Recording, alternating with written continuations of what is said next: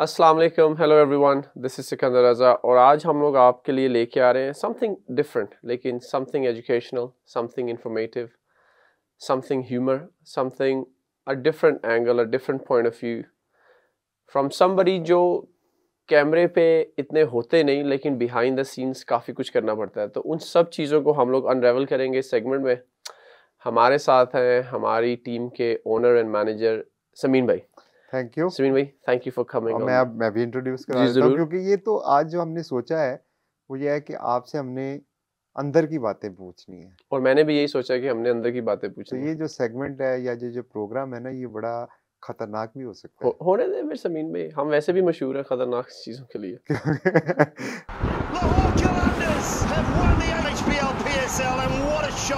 ये जो आप करते रहते हैं अक्सर वैसे होस्टिंग में आपका एक पूरा कैरियर हो सकता है क्योंकि मैं बड़ा इम्प्रेस हूँ आपके होस्टिंग स्किल से। आ- भाई करियर मेरा छोटा करने की कोशिश ना करें लेकिन मुझे आइडियाज़ ना दें लेकिन नहीं, चलें। नहीं सीरियसली मैं बता रहा हूँ वैसे मुझे चले आपसे मैं मैं स्टार्ट कर देता हूँ आपसे। ठीक है। सियालकोट से ताल्लुक। आपका भी? मेरा भी सियालकोट से ताल्लुक आपका भी। अब दो सियालकोट ही बैठ गए। जी। तो मुझे पहले चले मैं भी वैसे बाहर होता हूँ जी। और आप भी बाहर होते हैं। जी। बंदा कोई दूसरा लाओ यार ये तो दोनों एक जैसे इकट्ठे हो गए। लेकिन कितना फील होता है जब आप पीएसएल में आते हैं तो आपको अपनापन कितना फील होता है just because of the fact कि आपकी बहुत सारी फैमिली भी यहाँ पे रहती है। जी समीन भाई सो हंड्रेड परसेंट अपनाइत फील होती है। मुझे लाहौर फैमिली ने ऐसा महसूस होने नहीं दिया कि मैं एक ओवरसीज़ हूँ और जो रही कसर थी, वो फैंस ने निकाल दी। ना उन्होंने फील होने दिया कि मैं ओवरसीज़ हूँ, उन्होंने भी प्यार और सपोर्ट ऐसा ही किया जैसे कि मैं उनका अपना हूँ। और मैं हूँ भी। सो लाहौर के अंदर और P S L you know एक वो टीम और एक ऐसा टूर्नामेंट है कि जिधर अपनाइत का एहसास यू नो बहुत ही ज़्यादा होता है। ये तो क्रिकेट की जो जर्नी है आपकी, माशाल्लाह इतनी लंबी जर्नी है, इतनी सारी फ्रेंचाइजी से आप खेले हैं जिम्बाब्वे को भी आपने रिप्रेजेंट किया है।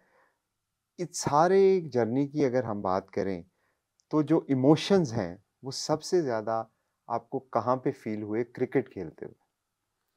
क्रिकेट खेलते हुए। समीन भाई सबसे ज़्यादा जो इमोशंस हैं वो लाहौर कलंदर में फील हुए। उसकी क्या वजह है? उसकी ये वजह अपनाइत है उसकी वजह फैंस हैं हमारे। एक तो 98 percent of the fans loyal है। सो so, उस वजह से हम लोग अच्छा बुरा tough time good times you know there always there तो वो जो अपनाइत है ना अभी उस दिन भी मैं बात कर रहा था कि समीन भाई इट्स वेरी इजी कि आप लोग फोकस कर लें कि उन दो या तीन परसेंट लोगों पे जो आपको क्रिटिसाइज कर रहे हैं या छोड़ के जा रहे हैं या बुरा भला कह रहे हैं because you not doing well लेकिन मुझे ऐसा लगता है कि उन बेचारों का क्या कसूर है कि जो 97 98 परसेंट जो हमारे फैंस हैं जो हमारे वेल विशर्स हैं वो हमें अभी भी सपोर्ट करें। So even in life Sameen भाई मैं कोशिश करता मैं उन चीज़ों पर फोकस करूँ जो पॉजिटिव है। मैं नेगेटिव्स को कहता हूँ positives in my life Sameen भाई ऑलवेज हैज़ आउटवेज नेगेटिव लेकिन इंसान है। हम लोगों को जब क्रिटिसिज्म होता है तो एकदम दिमाग उधर चला जाता है। मैं कोशिश करता हूँ कि बजाय इसके क्रिटिसिज्म पे जाए या बजाय इसके कि, किसी के ऐसे कुछ बात करने पे जाए जिससे तकलीफ़ हो या हर्ट हो इंसान तो मैं कोशिश करता हूँ मैं ज़्यादा फोकस या मेरा माइंड उधर जाए, जो लोग इतना ज़्यादा प्यार कर रहे हैं, उधर जाए। तो ये ये शुरू से था कि ये लेटली आप, ये ये कब आप में ये चीज़ डेवलप हुई? क्योंकि मेरा जो थोड़ा आपके बारे में मेरा नॉलेज है एक आपकी ज़िंदगी में बड़ा क्रूशल मोड़ आया था जिसमें अल्लाह ताला ने आपको काफ़ी मुश्किल में से गुजारा। जी। ये उसके बाद ट्रांसफॉर्मेशन हुई या पहले भी आप ऐसे थे? नहीं आई थिंक ये सब कुछ उसके बाद हुआ। पहले तो समीन भाई यानी कि अगर कोई कुछ कहता था तो मैं तो रिप्लाई भी कर देता था कभी कभी हम्म, और यानी कि अगर इवन के बैक होम या अगर किसी फ्रेंचाइज ने मैं खेल रहा हूँ मेजोरिटी इंटरनेशनल क्रिकेट थी उस टाइम सर्जरी से पहले फ्रेंचाइज बहुत कम थी। तो ये कि आई वुड आंसर बैक जब सर्जरीज हुई ना समीन भाई फिर उस दौरान अभी मेरा रिज़ल्ट आया नहीं था। तो मैंने ये कहा मैंने कहा अभी वो दस दिन की एक रिपोर्ट थी जिसमें मेरा सैंपल लिया गया था और ये डिसाइड करना था कि सैंपल डिसाइड करेगा कि है क्या। हम्म, डॉक्टर्स ने कहा था सैंपल से ही पता चलेगा कि क्रॉनिकल ऑस्टोमलाइटिस है which is basically a bone fungus hmm, अल्लाह ना करे या कैंसर या ट्यूमर है। हम्म, तो वो जो टेन डेज़ का वेटिंग पीरियड था ना वो बड़ा क्रूशल था। तो ये सब कुछ समीन भाई उसमें से आया। तो दैट्स व्हेन आई सेड कि I not answer back not because I am a coward. लेकिन इसलिए आंसर बैक नहीं करूँगा कि आई लीव इट टू अल्लाह ये बड़ा एक क्रूशल मोमेंट था आपसे मेरी जब पहले भी बात हुई आपने थोड़ा सा उसको मुझे बताया भी। ये जब आपको ये पता लगा था कि खुदा न खास्ता आपको कहीं कैंसर है और उसके बाद तो वो चांसेस सर्वाइवल के भी कम ही थे कुछ ऐसा भी था तो क्या फीलिंग थी? ये ये सो दिमाग में आता था कि अगर मैं नहीं रहूँगा तो क्या होगा? समीन भाई, शुरू में था, लेकिन देन जैसे जैसे वो टेन डेज़ का टाइम गुजर रहा था आई फील लाइक कि उन दस दिनों में मेरा अल्लाह से रिलेशन काफ़ी अच्छा हो गया, मैं बड़ा करीब आ गया अपने रिलीजन के। तो फिर eventually last few days report के आने से पहले मैं नमाज़ पढ़ा एक दिन तो मैंने कहा कि अल्लाह ताला, अगर आपका ये फ़ैसला है ना लेट मी फाइंड पीस यानी कि मुझे बस सुकून हो गया। ठीक है आपका फैसला मैं मान लेता हूँ इट्स ओके जो होगा देखी जाएगी। अगर ये आपका ही फैसला है तो फिर ठीक है। जब आपका फैसला है तो बेहतरीन फैसला है। ये आपकी एज कितनी थी उस वक्त जब ये हुआ? Thirty four. Thirty four year की एज में जी। अगर किसी को पता लगे कि मुझे खुदा न खासा ट्यूमर है या कैंसर है और ये डॉक्टर आपको बता रहे हैं तो यार वो तो बंदा आई डोंट नो वो कैसे उसको है मैं तो सोच भी नहीं सकता कि इसको कोई हैंडल भी कर लेगा तो ये मुझे ये यार ये ज़रा मैं समझने की कोशिश कर रहा हूँ। आपने बड़ी आसानी से बता दिया कि दस दिन थे। मुझे वो टाइम बताएँ जब आपको पहली दफ़ा पता लगा था। सो so, समीन भाई जब मुझे फ़र्स्ट टाइम पता चला ना तो सर्जन ने मुझे बताया। अब जब उसने मुझे बताया ना समीन भाई मेरे जहन में पहली पहली थॉट ये आई कि चलो जो होना था मेरे साथ हो गया घर कैसे बताऊँगा? एग्जैक्टली अब मेरे पास वो सबसे चैलेंजिंग था hmm. अब। मैं गाड़ी चला के आ रहा हूँ सर्जन से घर के गेट पे पहुँच गया हूँ अब काफ़ी इमोशंस है लेकिन जैसे ही मैंने बटन दबाया गेट खुल रहा है अब मैं सोच रहा हूँ कि let me be calm you know मैं आराम से जाऊँगा हाँ वो कह रहे हैं कि हम हल्का सा सैंपल लेके आपको चेक करते हैं तो सैंपल से पता चल जाएगा कोई परेशानी की बात नहीं है तो hmm. ये। मेरा प्लान था मैं जब एंटर हुआ ना तो मेरी वालदा गार्डन में थी सामने यानी कि कार पार्क के बिल्कुल साथ ही एक छोटा सा गार्डन वो हम्म। मेरा इंतज़ार कर रही थी तो जब उन्होंने मुझे देखा ना तो मैं तो बड़ा रिलैक्स था हम्म, तो उन्हें पता चल गया। उन्हें कहा अच्छा, सच। हाँ उन्हें कहा सच सच बता डॉक्टर ने क्या कहा? मैंने कहा उसने कहा कि एवरीथिंग इज़ फाइन हम लोग कुछ बता नहीं सकते बस यही बता सकते हैं कि आपका एक सैंपल लेते हैं। तो फिर वो डिसाइड करेगा कि क्या है लेकिन हमें वेरी श्योर है कि हम लोग यानी कि कोई इतना लग नहीं रहा हमें। मेरा पहला आंसर ये था। कहती है मुझे सच सच बता। हम्म, फिर मैंने उन्हें बताया कि हो सकता है कैंसर हो। तो उनका क्या रिएक्शन था? ये समीन भाई as you can imagine first born हूँ मैं फैमिली का तो वालदा ने मेरे सामने तो इमोशन शो नहीं किए लेकिन मैं आपको वो दस दिन की एक एक एक पिक्चर आपके सामने क्रिएट करता हूँ। वालदा सारी रात अपने रूम में भाई मेरा अपने रूम में हम्म, मिसिस अलहदा से अपने रूम में। यानी कि हम में से अगर कोई सो रहा था पीसफुली तो वो मैं ही था। बाकी सब सारी सारी रात जाग रहे आप थे कैसे पीसफुली सो रहे थे जब आपके लव्ड वन जो थे वो इतने ज़्यादा ऑब्वियसली स्ट्रेस में होंगे और ऐसे मौक़ों पे शायद इंसान को अपने से ज़्यादा अपने लव्ड वन की फ़िक्र ऐसे ही होती है। होती है। तो हाउ वो वो कैसे मैनेज कर रहे थे आप? समीन में मुझे ऐसा लगता था कि अगर मैं भी उनकी तरह इस तरह करता रहूँगा तो मेरा ख्याल है हम सारी पैनिक कर जाएँगे। मुझे ये था कि अगर मैं पीसफुली रहूँगा कि मैं कहूँगा हाँ ठीक है वो सैंपल ही लेना ना कोई इतनी बड़ी बात नहीं है। मुझे ऐसा लगा कि if I played cool and brave तो उससे ये है कि फैमिली वाले सारे मैनेज हो जाएँगे। अब मेरे वालिद साहब कोविड टाइम था मेरे वालिद साहब पाकिस्तान में फंस गए। फ्लाइट्स थी नहीं जिम्बावे की हम्म, क्योंकि the whole world was shut अब वो इधर फंस गए अब वो इधर परेशान। तो फिर वो जो दस दिन का पीरियड था ना वो दस दिन थे नहीं समीन भाई वो एक वो एक चैलेंजिंग था यानी कि वो आपके लिए एक लाइफ टाइम था। यानी कि मैं आपको ये बता सकता हूँ हमारे घर में खा कोई मर्द था खा कोई औरत थी everybody cried at some point लेकिन अपने रूम्स में। हाँ नहीं यानी कि मेरे सामने किसी ने कुछ नहीं किया लेकिन आई न्यू के यार हम फ़िल्मों में देखते हैं ना जब तो उस वक्त आँखें भर आती हैं इंसान की। आप thirty four thirty five year के माशाल्लाह क्रिकेट में उस वक्त आपने जम्बावे के लिए खेल रहे थे टेस्ट मैच भी खेल रहे थे परफॉर्मेंस भी अच्छी जा रही थी और सडनली आपको फ्रॉम नोवेयर ऐसी खबर मिले और फिर आपको उस दस दिनों में अपने आप को ट्रांसफॉर्म जो किया आपने क्योंकि बड़ा आसान होता है यार नेगेटिव हो जाना। जी। कि मेरे साथ ही क्यों हो रहा है? जी। मैंने क्या कसूर किया? ये थॉट्स आती हैं आई थी। फिर मैं मैं मैं- मैं इसलिए आपसे ये पूछना चाह रहा हूँ क्योंकि इसमें ना मेरे ख्याल में आपकी अगर कोई लाइफ को देखे ना तो ये जो दस दिन है ये बहुत बड़ा लेसन है किसी भी सुनने वाले के लिए और मैं चाहता हूँ कि वो आप शेयर करो। सो so, समीन भाई लेसन यही है कि जो फैसला अल्लाह की तरफ़ से हो गया try and find peace all I was doing कि मैं कोशिश कर रहा था कि बस मैं सुकून में आ जाऊँ कि अब जो होना है वो होना है। उसे मैं बदल नहीं सकता। कुछ भी हो सकता है। इवन के मैं सर्जन के पास गया उस टाइम मेरी सर्जरी हो गई थी। हम्म। I come back to the previous part मैं सर्जन के पास गया तो अब मैं अल्लाह का शुक्र है कि ऑस्टमलाइटिस निकला है। मैंने उनसे कहा कि सर आपने मेरी बोन में एक फ्रैक्चर क्रिएट किया यानी कि आपने स्किन को जब ओपन किया तो जो मेरा बाजू का बोन था उसमें उन्होंने ड्रिल की ताकि ड्रिल में वो बोन में एक सुराख कर दे। हम्म। सुराख के अंदर से सैंपल लिया उन्होंने। हम्म। मैंने कहा सर फ्रैक्चर भी हील हो गया अब जो आपने क्रिएट किया था। हम्म। आप बताएँ मैं कितनी जल्दी दोबारा खेल सकता हूँ? हम्म। तो उन्होंने कहा कि एक और सर्जरी करेंगे। मैंने हम्म, कहा सर अब आपने सब कुछ कर उन्होंने कहा पहले हमने सैंपल लिया अब हमें पता चल गया कि लाइफ थ्रेटनिंग कोई कंडीशन नहीं है। अब जो अंदर पड़ा उसको साफ़ नहीं करना। मैंने कहा सर अगर आप मेडिसिन दे दें मेडिसिन से भी हो जाएगा।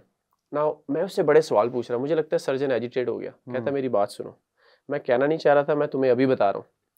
तुमने सर्जरी ना करवाई। द बॉटम लाइन इज़ कि तुम्हारा बाजू काटना पड़ेगा फ्रॉम द शोल्डर अब मैं फिर चुप हो गया। और बाजू कौन सा था? राइट वाला। जिससे आप ऑफ़ स्पिन करते Yeah. खैर लेफ़्ट भी काट देता तो ये कहाँ से बैटिंग कैसे करता? ऑफ़ anyways, स्पिन तो हाँ मतलब सो क्रिकेट तो चलती है यार शायद खौफनाक बात की जो बॉलिंग आर्म है वो काटने। की बात हो जो डोमिनेंट आर्म है। है। जब उसने ये कहा ना फिर मैं चुप कर गया। उसने कहा बेटा मेरी बात सुनो। मैं तुम्हारा केस छोड़ना चाह रहा था। एक 34 year old national captain young healthy body को ये कहना कि आपको कैंसर है और ये कहना कि आप पे कीमो भी नहीं होगी बिकॉज़ कीमो किल्स योर वो मुझे समझा रहा था कि chemo kills on the cells and tissues कहता है आपका मसला बोन मैरो में है। हम्म, यानी कि एक स्किन की लेयर है एक बोन है और बोन के अंदर आपका मसला। कीमो कैसे उसे सॉल्व करेगी? तो अगर आपको कैंसर हो जाता तो हमें एक ही सोल्यूशन था कि आपका बाजू काटते हैं there was no other choice मैंने कहा सर सेकंड सर्जरी कब है मेरी? कहते हैं मैं बताता हूँ। जब सेकंड सर्जरी हुई देन लेकिन तब तक समीन भाई आई वाज एट पीस ये आप बीस की बात कर रहे हैं। अल्लाह पे मज़हब के साथ लगाओ ये दस दिनों जब ये खबर मिलने से पहले कैसा था आपका? समीन भाई अच्छा था because I come from a very religious family माशाल्लाह वालदैन दादा अबू अल्लाह जन्नत दादी में हयात है माशाल्लाह we come from a very religious family यानी कि वालदा तो सख्ती करती हैं कि मेक श्योर हम लोग नमाज़ वगैरह टाइम पे पढ़ें. और उसके अलावा जो बाकी चीज़ें हैं जो ज़िंदगी के लेसन हैं जो एक पर्सनालिटी क्रिएट हुई है वो भी अल्हम्दुलिल्लाह हमारे वालदेन की वजह से ही हुई है टू मेक श्योर कि सिर्फ़ नमाज़ ही इस्लाम का हिस्सा नहीं है। और अदर थिंग्स ह्यूमैनिटी है इंसानियत है बिहेवियर है ये सारी चीज़ें सो हम लोग काफ़ी करीब तो थे हम्म, लेकिन समीन भाई जो मेरा ख्याल है जो ज़्यादा करीबी ताल्लुक हुआ है वो इंजरीज इंजरीज के दौरान और अल्हम्दुलिल्लाह अभी तक चल रहा है। नहीं वो मुझे नज़र भी आता है जब आपसे बात होती है और हर वक्त किसी भी सिचुएशन में मैंने आपको हमेशा देखा है कि you always come out with a smile और आप बड़ी से बड़ी जो मुश्किल होती है उसको पॉजिटिवली देखते हो। ये बहुत बड़ी क्वालिटी होती है किसी इंसान के अंदर जो कि मेरे ख्याल में मैंने बहुत कम लोगों में देखी। तो मैं समझना ये चाह रहा था कि वो क्वालिटी की जो इब्तदा थी वो उस उन मोमेंट से हुई और उसके बाद वो बढ़ती ही गई और आज तक एक तरह से सम देखा जाए तो अल्लाह ताला ने आपको उसमें से बचाया और एक तरह से ये दूसरी ज़िंदगी आपको मिली मैं मानता हूँ। जो जो जो आपको आप आप अपनी इतनी माशाल्लाह पॉजिटिविटी के साथ जी रहे हो। जी हंड्रेड परसेंट समीन भाई और वो जो बाकी चीज़ें भी आपने पूछी हैं समीन भाई इंजरीज के साथ और उसके बाद और सर्जरीज का टाइम और लॉर ऑफ़ द थिंग्स जो आप मेरा नहीं ख्याल I had I a pretty positive view of life और क्रिकेट ये वो लेकिन ये था कि मैं फ्रस्ट्रेट हो जाता था मुझे गुस्सा आ जाता था आई गेट एजिटेटेड समीन भाई ना तो अब मैं फ्रस्ट्रेट होता हूँ। हम्म, आई मीन अगर फैमिली का भी कोई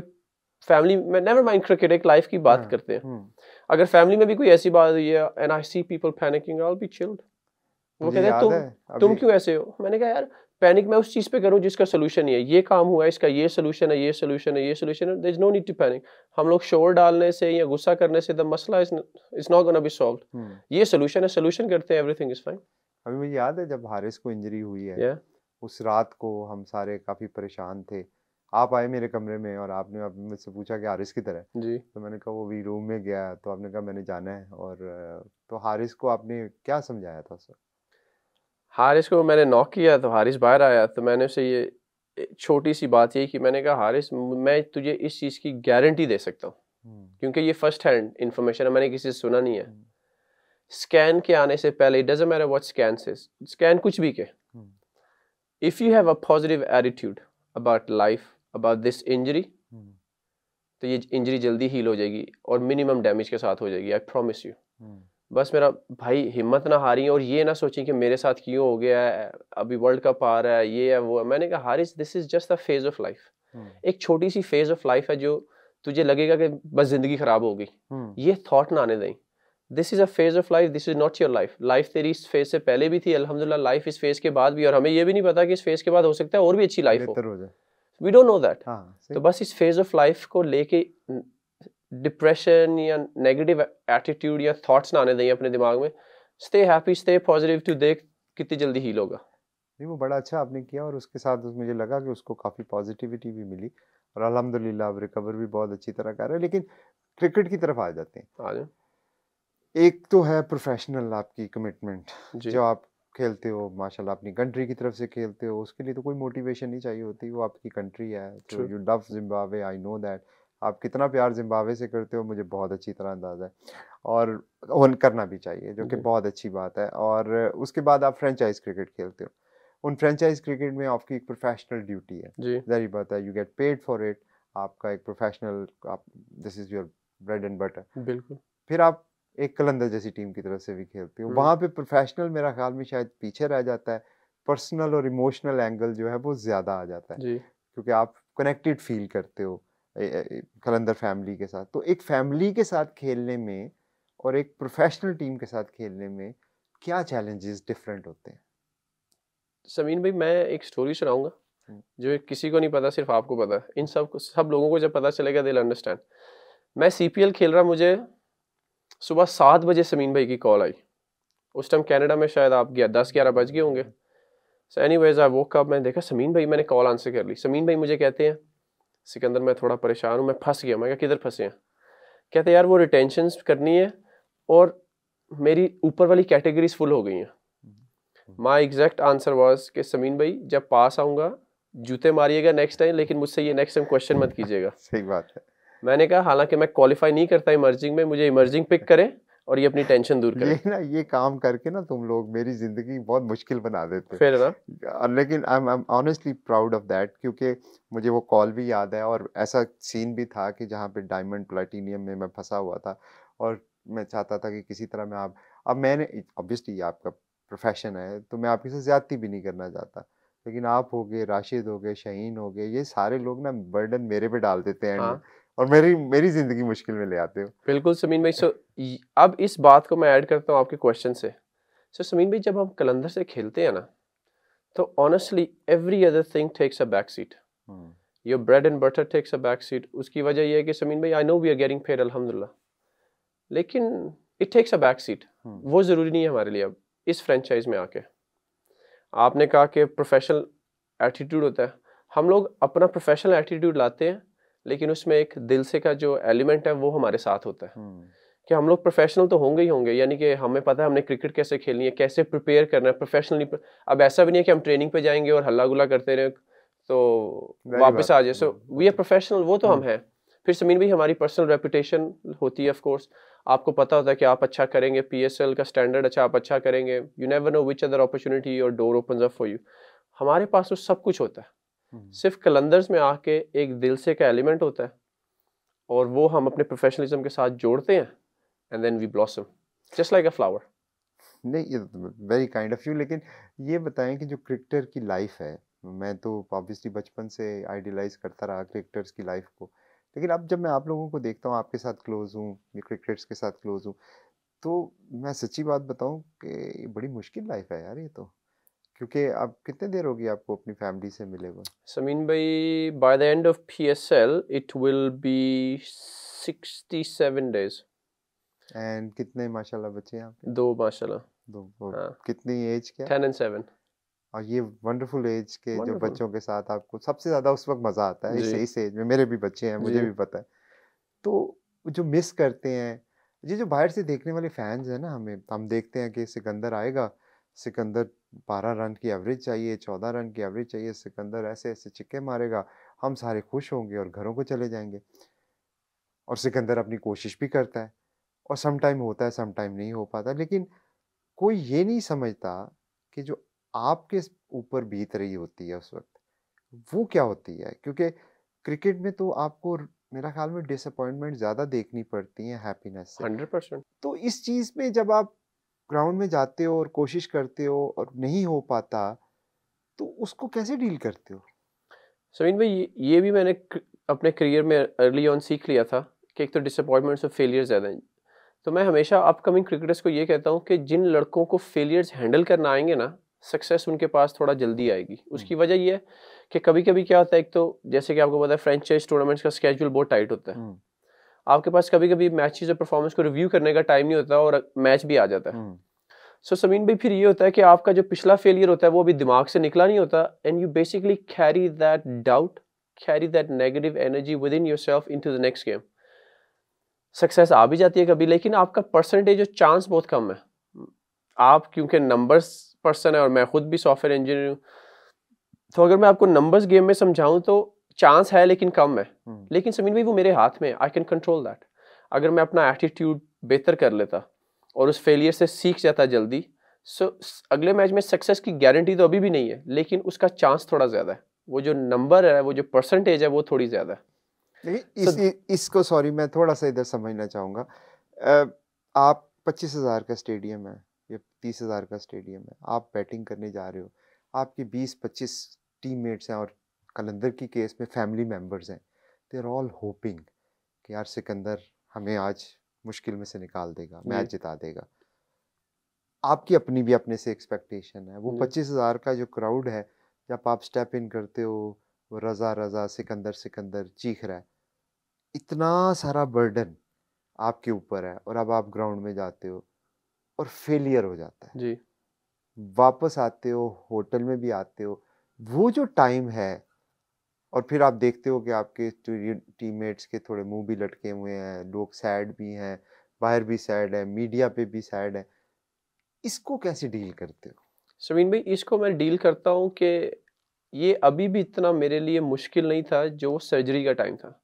सो आई ऑलवेज गो बैक कि अगर अल्लाह ने मुझे उस टाइम से निकाल लिया है तो व्हाट इज़ दिस यानी कि इस पे मुझे इतना गमगीन या अफसरदा होने की क्या ज़रूरत है? हम्म, मेरे पास तो फिर एक चांस है। मैं अगले मैच में बेहतर कर दूँगा। फिर ये होता है कि एज अ सीनियर गाय या एज अ फैमिली जो फैमिली के बड़े होते हैं अब मैं देख रहा हूँ लड़कों के मुँह भी लटके हुए हैं। हम्म, अगर मेरा भी लटक जाएगा and I am the source of strength for my team या source of happiness for my team तो वो जब मेरा लटक जाएगा तो उनका जो थोड़ा बहुत बिलीफ है जो यंगस्टर्स का वो भी शायद चला जाए।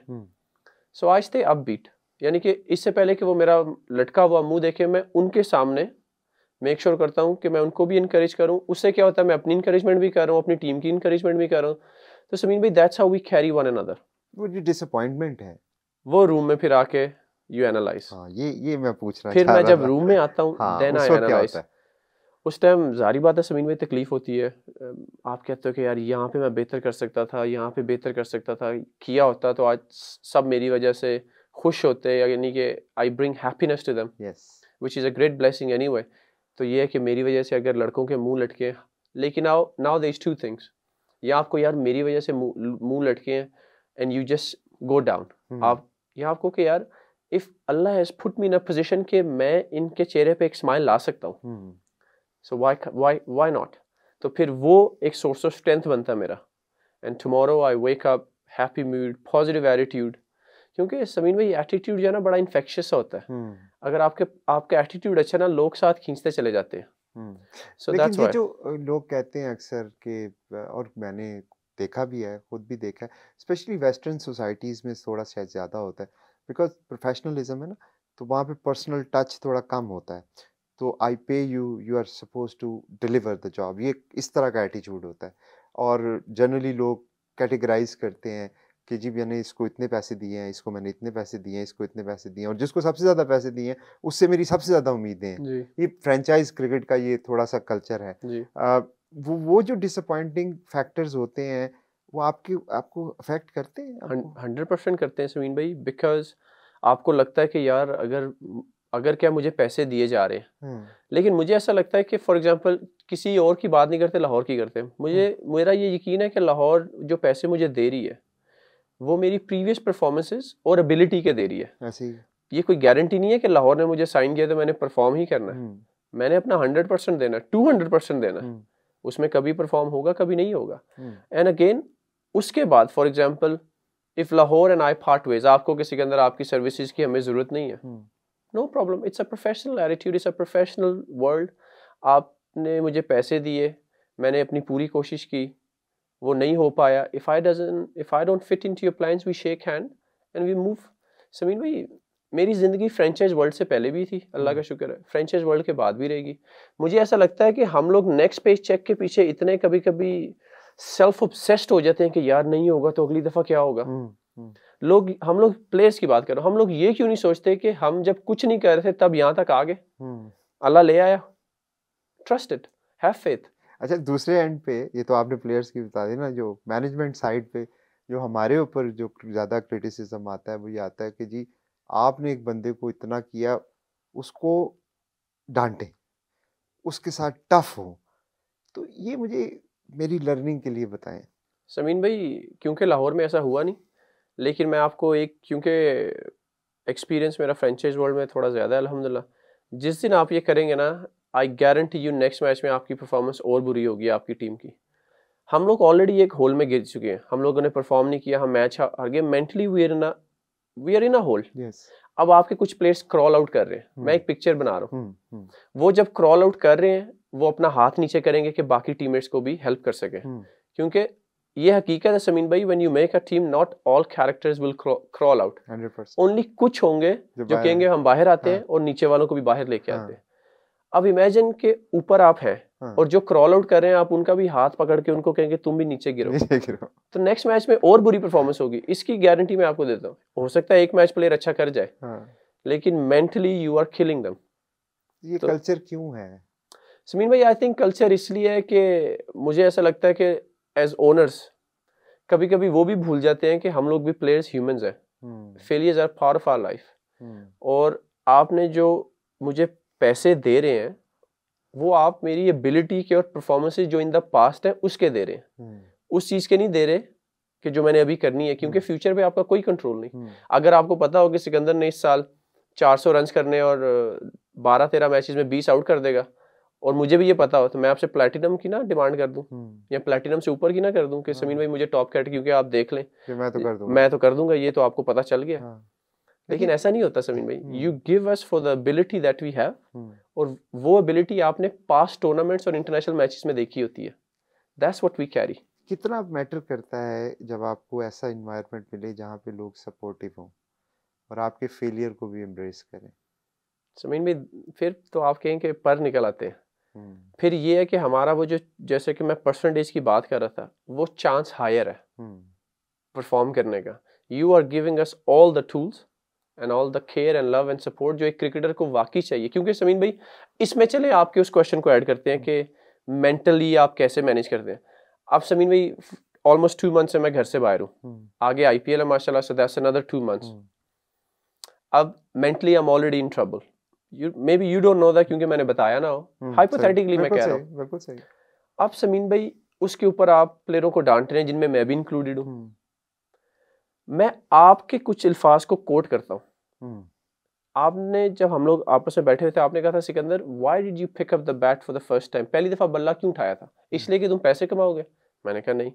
इसलिए कि तुम्हारा नाम होगा। मैंने कहा समीन भाई उस टाइम तो पता ही नहीं था। हम्म तो आपने पूछा क्यों उठाओगे? तो मैं सोचने लगा मैंने कहा समीन भाई शायद इसलिए कि सारे क्रिकेट खेलते थे फैमिली में तो हम लोग इन्जॉय करते थे। तो आपने कहा that is the answer the first time हम लोगों ने जब बैट उठाया was to enjoy this game yes अगर आप डांटेंगे फैमिली से हम लोग दूर हैं। Lot of sacrifices we are making किसी को नहीं पता कि हमारी मेंटल स्टेट फ़िज़िकल स्टेट कैसी है लेकिन जब हम आते हैं आप लोगों ने फैंस ने क्योंकि टिकट्स खरीदी हैं और अगर हम फुली फिट हैं और टीम ने सेलेक्ट किया है हम्म। तो हमारा हक है एक तो रोजी हलाल करें ऊपर से आपको हंड्रेड परसेंट एफर्ट दिखाएँ कि हम कोशिश कर रहे हैं। बिल्कुल ठीक समीन भाई लेकिन ये सब कुछ करने के बाद आप हार के जब वापस आए रही सही कसर एक ओनर या मैनेजर या कैप्टन निकाल दे।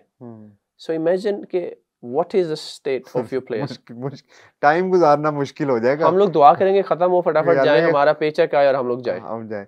लेकिन इससे मेंटल हेल्थ पे प्लेयर्स की फ़र्क तो पड़ता होगा क्योंकि हर इन्वायरमेंट तो आपने इतने सारी फ्रेंचाइज में खेला। क्योंकि देखिए जो मैंने चीज़ नोट की क्रिकेटर्स के साथ रह के जितने बाहर से देखने में बड़ी ये ग्लिटरी लगता है वर्ल्ड के आप आज जिम्बाब्वे में हैं कल आप साउथ अफ्रीका में हैं परसों आप दुबई में हैं और फिर आपकी पोस्ट आ रही हैं कभी आप फन कर रहे हैं कभी आपने डिनर किया हुआ है और कभी आपके ये सारा नज़र आता है एक फ़ैन को।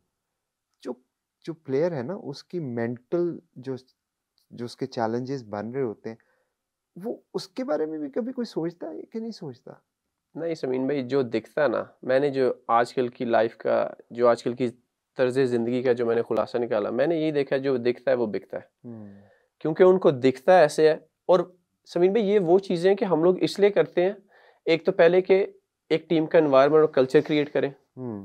और हम फैंस के लिए इसलिए ये कंटेंट शेयर करते हैं कि उन्हें लगे यानी कि जो नेक्स्ट जनरेशन है वो इन्फ्लुएंस हो कि हाँ यार प्रोफेशनल लाइफ टफ ज़रूर है लेकिन look how much fun they having यानी कि इतने सारे चैलेंजेस और फेलियर्स और सक्सेस और टाइम अवे फ्रॉम फैमिली और इंजरीज और अलॉट उसके बावजूद भी इट इज़ अ प्लेस जिधर यू स्टिल एंजॉइंग लाइफ चलें आपसे एक पर्सनल सवाल पूछूँ। पूछे। आप क्रिकेट की वजह से लास्ट टाइम कब रोए थे? अगेंस्ट युगांडा जब हम युगांडा से हारे ना वर्ल्ड कप क्वालिफायर में तब मैं विच इज़ वेरी रिसेंट तो मैं रूम में जाकर रोया। हम्म। तो मैं ये मैं आपको और भी बता दूँ मैंने कहा या अल्लाह मैं अभी भी अल्हम्दुलिल्लाह कह रहा हूँ लेकिन इस दफ़ा मुझे तकलीफ़ है। आपका बंदा आज बहुत तकलीफ़ में हम्म। लास्ट टाइम तीन माह पहले मैं रोया और मैं प्रॉपर रोया कि या अल्लाह हम लोग क्वालिफाई नहीं कर सकेंगे टी ट्वेंटी वर्ल्ड कप के लिए। मेरे मुल्क का क्या बनेगा? यानी कि मेरे मुल्क के लोगों का क्या बनेगा? इत, इतनी ज़्यादा रिस्पॉन्सिबिलिटी मुझे दी गई थी उन्होंने ट्रस्ट किया मैं उनका ट्रस्ट ब्रेक कर रहा हूँ। सो so, समीन भाई थ्री फोर मंथ्स अगो जो अभी हमारा युगांडा के साथ मैच था नमीबिया में I came to my room and I cried मुझे याद है मेरी आपसे उस वक्त बात भी हुई थी मैंने आपको मैसेज भी किया था wish you best of luck का। और मुझे भी तकलीफ़ हुई थी क्योंकि जिम्बाब्वे का क्वालिफाई ना करना from a cricketing fan point of view it was एक तो आपके साथ पर्सनल रिलेशन भी है तो उसकी वजह से नेचुरली था, लेकिन अदरवाइज़ भी ऑब्वियसली युगांडा प्लेड वेल लेकिन इमोशंस हमारे, आपके जिम्बाब्वे के साथ थे। तो ये जो इस तरह के फेलियर्स इस तरह का जो स्ट्रेस है, और काफ़ी लोनलीनेस होती है, जो भी मैंने आपके साथ पिछली बात किया कि आप रूम में अकेले हो कभी आपको समीन मिल जाएगा कभी आपको कोई और मिलेगा और वो चले कहीं पे दोस्ती ज़्यादा होगी कहीं पे तो सिर्फ़ प्रोफेशनल होगा। जी। ये जो लोनलीनेस है क्रिकेटर्स की ये किस तरह से इम्पेक्ट करती है उनको? सो समीन भाई ये होता ही है कि क्योंकि हम लोग प्रोफेशनल हैं तो मुझे ऐसा लगता है कि हम लोग प्रोफेशनल होने क्रिकेटर होने के साथ साथ एक्टर्स भी बन ही जाते हैं ज़िंदगी आपको बना देती है। हम्म। तो जब हम लोग आप लोगों को स्क्रीन पे नज़र आते हैं तो हम लोग अपना हंड्रेड परसेंट ज़रूर देते हैं क्योंकि हम लोगों की कमिटमेंट है। हम्म। लाइक आई सेड कि हम लोगों ने हलाल तो करना है जब आप हम कमा रहे हैं। तो ऐसा नहीं हो सकता मैं कहूँ चल यार ठीक है सीज़न लगाते हैं बस जाते हैं अल्लाह के स्पुर्द क्योंकि समीन भाई उसकी सज़ा मुझे इवेंचुअली अल्लाह से मिल जाएगी। हम्म हम्म। वो कहेंगे कि तुम्हें मैंने एक एक एक एक प्लेटफॉर्म दिया है हम्म। हलाल रोज़ी कमाने का। हम्म। तुमने इतनी मेहनत की प्लेटफॉर्म और चांसेस मैंने दे दिए। क्या मेरे से अच्छे क्रिकेटर्स आउट क्या नहीं होंगे? अभी भी हैं समीन भाई। हम्म। मुझे अपॉर्चुनिटी मिल गई उनको नहीं मिल गई अबाउट देम हम्म। उसी तरह के लास्ट ईयर जो हमारा कराची वाला मैच था जब हम लोग वन एंड टू पे हंड्रेड परसेंट गारंटीड हो गए थे। हम्म। मैं आपके पास आया मैंने कहा समीन भाई I want be the first one कि जो ये मैच बाहर बैठेगा। आपने कहा क्यों? मैंने कहा समीन भाई जो बेचारे बेंच पे बैठे हैं वो मेरे लिए तालियाँ मार रहे थे। हम्म, अब हम्म, हमारा हम्म, वन एंड टू गारंटीड है। आज मैं उनके लिए तालियाँ मारूँगा वो मुझे पानी पिला रहे थे मैं पिलाऊँगा। सो समीन भाई it is that human nature that bind us hmm लेकिन प्रोफेशनल स्पोर्ट में कभी कभी सेल्फिशनेस आ जाती है। हम्म। तो आई आई आप कह लें कि मैं हमेशा उल्टा ही सोचूँगा। हम्म। लेकिन मैं ट्राई ज़रूर करूँगा। सम टाइम आप सीख जाते हैं सम टाइम कोई आपसे सीख जाता है। तो और- जहाँ तक बात है लोनलीनेस की समीन भाई it eats you inside it does does यू you inside so इसलिए we try and travel with the families um, कभी कभी पॉसिबल होता है कभी नहीं होता समीन भाई। हम्म। स्पेशली जब टूर्नामेंट डिफ़िकल्ट जा रहा हो तब तो ऐसे लगता है कि जैसे जो रूम है वो हर मैच के बाद छोटा होना शुरू हो गया तब wall starts to creep in तो मैं क्या करता हूँ कि मैं फिर लोगों के रूम में नॉक करके जाना शुरू कर देता हूँ। हाँ भाई चाय बनाओ मैं चाय लेके आया हूँ चाय पीते हैं। जस्ट टू बेसिकली हेल्प क्योंकि एक स्टेज थी कि मैं उस स्टेज पे था। हम्म। लेकिन किसी ने मेरे रूम का दरवाज़ा नहीं खटखटाया। एवरीबडी लेफ़्ट मी अलोन तो मैंने कहा यार ये आज मेरे साथ हुआ है। कल को अगर अल्लाह ने मुझे इस सिचुएशन में लेके आए और मैं एक सीनियर प्लेयर बना और सक्सेस आई मेरे पास। आई वांट मेक श्योर कि मैं जूनियर्स के साथ ये ना करूँ जो मेरे साथ हुआ बिकॉज़ इट्स रॉन्ग क्योंकि आप अकेले होते हैं फैमिली साथ होती नहीं है। फेलियर पे फेलियर आ रहे हैं and the room starts to close in on you बहुत मुश्किल टाइम होता जी है। समीन भाई। प्लेयर्स जो हैं वो हम जो बात करते हैं शौक और उसको उसकी बजाय पैसे के लिए खेलते हैं। तो ये कितनी बात ठीक है? समीन भाई मैं इस इस बात का आंसर दो तरीकों से देता हूँ। हालाँकि फैंस को शायद बुरा लगे। समीन भाई अगर तो मैं पैसे के लिए फ्रेंचाइज खेल रहा हूँ what is wrong with that आप जॉब पे जाते हैं पैसों के लिए जाते हैं शौक से जा रहे हैं? पैसों के लिए जाता करेक्ट आप सुबह उठते हैं आप लाहौर कलंदर को मैनेज कर रहे हैं। बिज़नेस है। बिज़नेस है आपके लिए बिज़नेस है। हाँ। अगर समीन भाई हमारी Lahore Qalandar loss loss loss loss दस साल लॉस में जाएगी तो हो तो आप तो सड़क पे आ जाएँगे। सही बात है। करेक्ट हाँ। तो इवेंचुअली आपको नंबर्स देखने टू मेक सेंस हम्म, आपकी आपकी औलाद अगर स्कूल जा रही है आपकी औलाद अगर कॉलेज जा रही है you are investing in them इसलिए कि पढ़ा लिखा के एक अच्छा इंसान तो ज़रूर बनाएँगे लेकिन अगर वो लड़का या लड़की कॉर्पोरेट वर्ल्ड में आएगी तो वो पैसे कमाएगी कि वो फ्री की जॉब करेगी या करेगा? पैसे कमाना तो आपका राइट है। सो so, आप लोग पैसे कमाएँ अपनी जॉब से। हाँ। हम अगर अपनी जॉब से पैसे कमाना चाहें it's a big thing. Why is that so मुझे ऐसा लगता है कि ये मुनाफ्त है। मैं आपको कह रहा हूँ कि मैं फ्रेंचाइज क्रिकेट पैशन और अपना मुल्क पैशन के साथ साथ पैसों के लिए खेल रहा हूँ। There is nothing wrong I admit absolutely no wrong nothing wrong लेकिन मैं ये प्राउडली कहता हूँ कि मैं सिर्फ़ हलाल ज़रिए से हाँ। अपनी रोजी कमा रहा हूँ। And I am very very very proud of that that's wonderful इसी इसी कॉन्टेक्स्ट में क्या ये इसकी ये वजह है कि हमने क्रिकेटर्स को कभी प्रोफेशन नहीं समझा? क्रिकेट को प्रोफेशन नहीं समझा। मैं आपको छोटी सी मिसाल देता हूँ। मैं चार्टर्ड अकाउंटेंट ठीक है मैंने पाकिस्तान से भी किया कनाडा से भी किया। और मैं करके मैं मिडल ईस्ट चला गया मैंने वहाँ जॉब की मैं कनाडा चला गया। अच्छा मुझे किसी ने नहीं कहा कि आपने मुल्क को क्यों नहीं सर्व किया? जी। मेरे पास बेहतर अपॉर्चुनिटी थी मैं चला गया। जी। अच्छा यही बात जब मैं एक क्रिकेटर को देखता हूँ तो मैं कहता हूँ कि वो क्रिकेटर जो है वो नहीं पैसे कमा सकता। जी। अगर उसको बेहतर अपॉर्चुनिटी मिले तो वो गुना जी। Accountant engineer. Doctors pilots you name it lawyers वो कर लें तो ठीक। हम्म। तो इसकी इसकी क्या वजह है? समीन भाई आई थिंक इसकी वजह ये है कि एक तो हमारे आप पे पाकिस्तान का बैज नहीं लगा। हम पे पाकिस्तान का बैज या जिम्बावे का बैज है। हम्म। जब आप पे एक मुल्क का बैज लग जाता है ना समीन भाई थोड़ी सी चीज़ें ज़रूर बदल जाती हैं। जब मुझ पे बैज लग गया जिम्बावे का या पाकिस्तानी शाहीन पे बैज लग गया या हारिस पे कुछ किसी भी लड़के का नाम। लेने उस पर पाकिस्तान का बैज लग गया। Technically we do sort of become their property वो प्रॉपर्टी ऐसे हम बनते हैं कि उनके इमोशंस हमारे साथ इन्वेस्टेड हो गए। हम्म। अब अगर वो मैच देखने आ रहे हैं टेक्निकली तो उनके पैसे भी हमारे ऊपर इन्वेस्ट हो गए। लेकिन समीन भाई मैं आप लोगों को ये ओपनली कहना चाहता हूँ वी रिस्पेक्ट दैट ऐसा कोई भी क्रिकेटर नहीं है। आप लोग कभी कभी इमोशंस में आके कुछ गलत वलत बोल देते हैं जो काफ़ी तकलीफ़ दे है। अल्हम्दुलिल्लाह जिम्बावियंस ने मुझे कभी ऐसा नहीं कहा। हम्म, वो भी मैं आपको स्टोरी सुनाता हूँ कभी कभी कुछ ऐसी बातें प्लेयरों के बारे में बोल जाती है जो उनको हर्ट करती है। हाँ। लेकिन समीन भाई ऐसा कुछ नहीं है। The playing for country is the ultimate feeling is the ultimate goal is the most happiest proud अब मुझे एक बात proud feeling for a cricketer Pakistani कोई भी क्रिकेटर आप ले लें। वो जब बैच पहनता है हेलमेट पहनता है हम्म, उसके माँ बाप पे क्या बीतती होगी? खुशी से।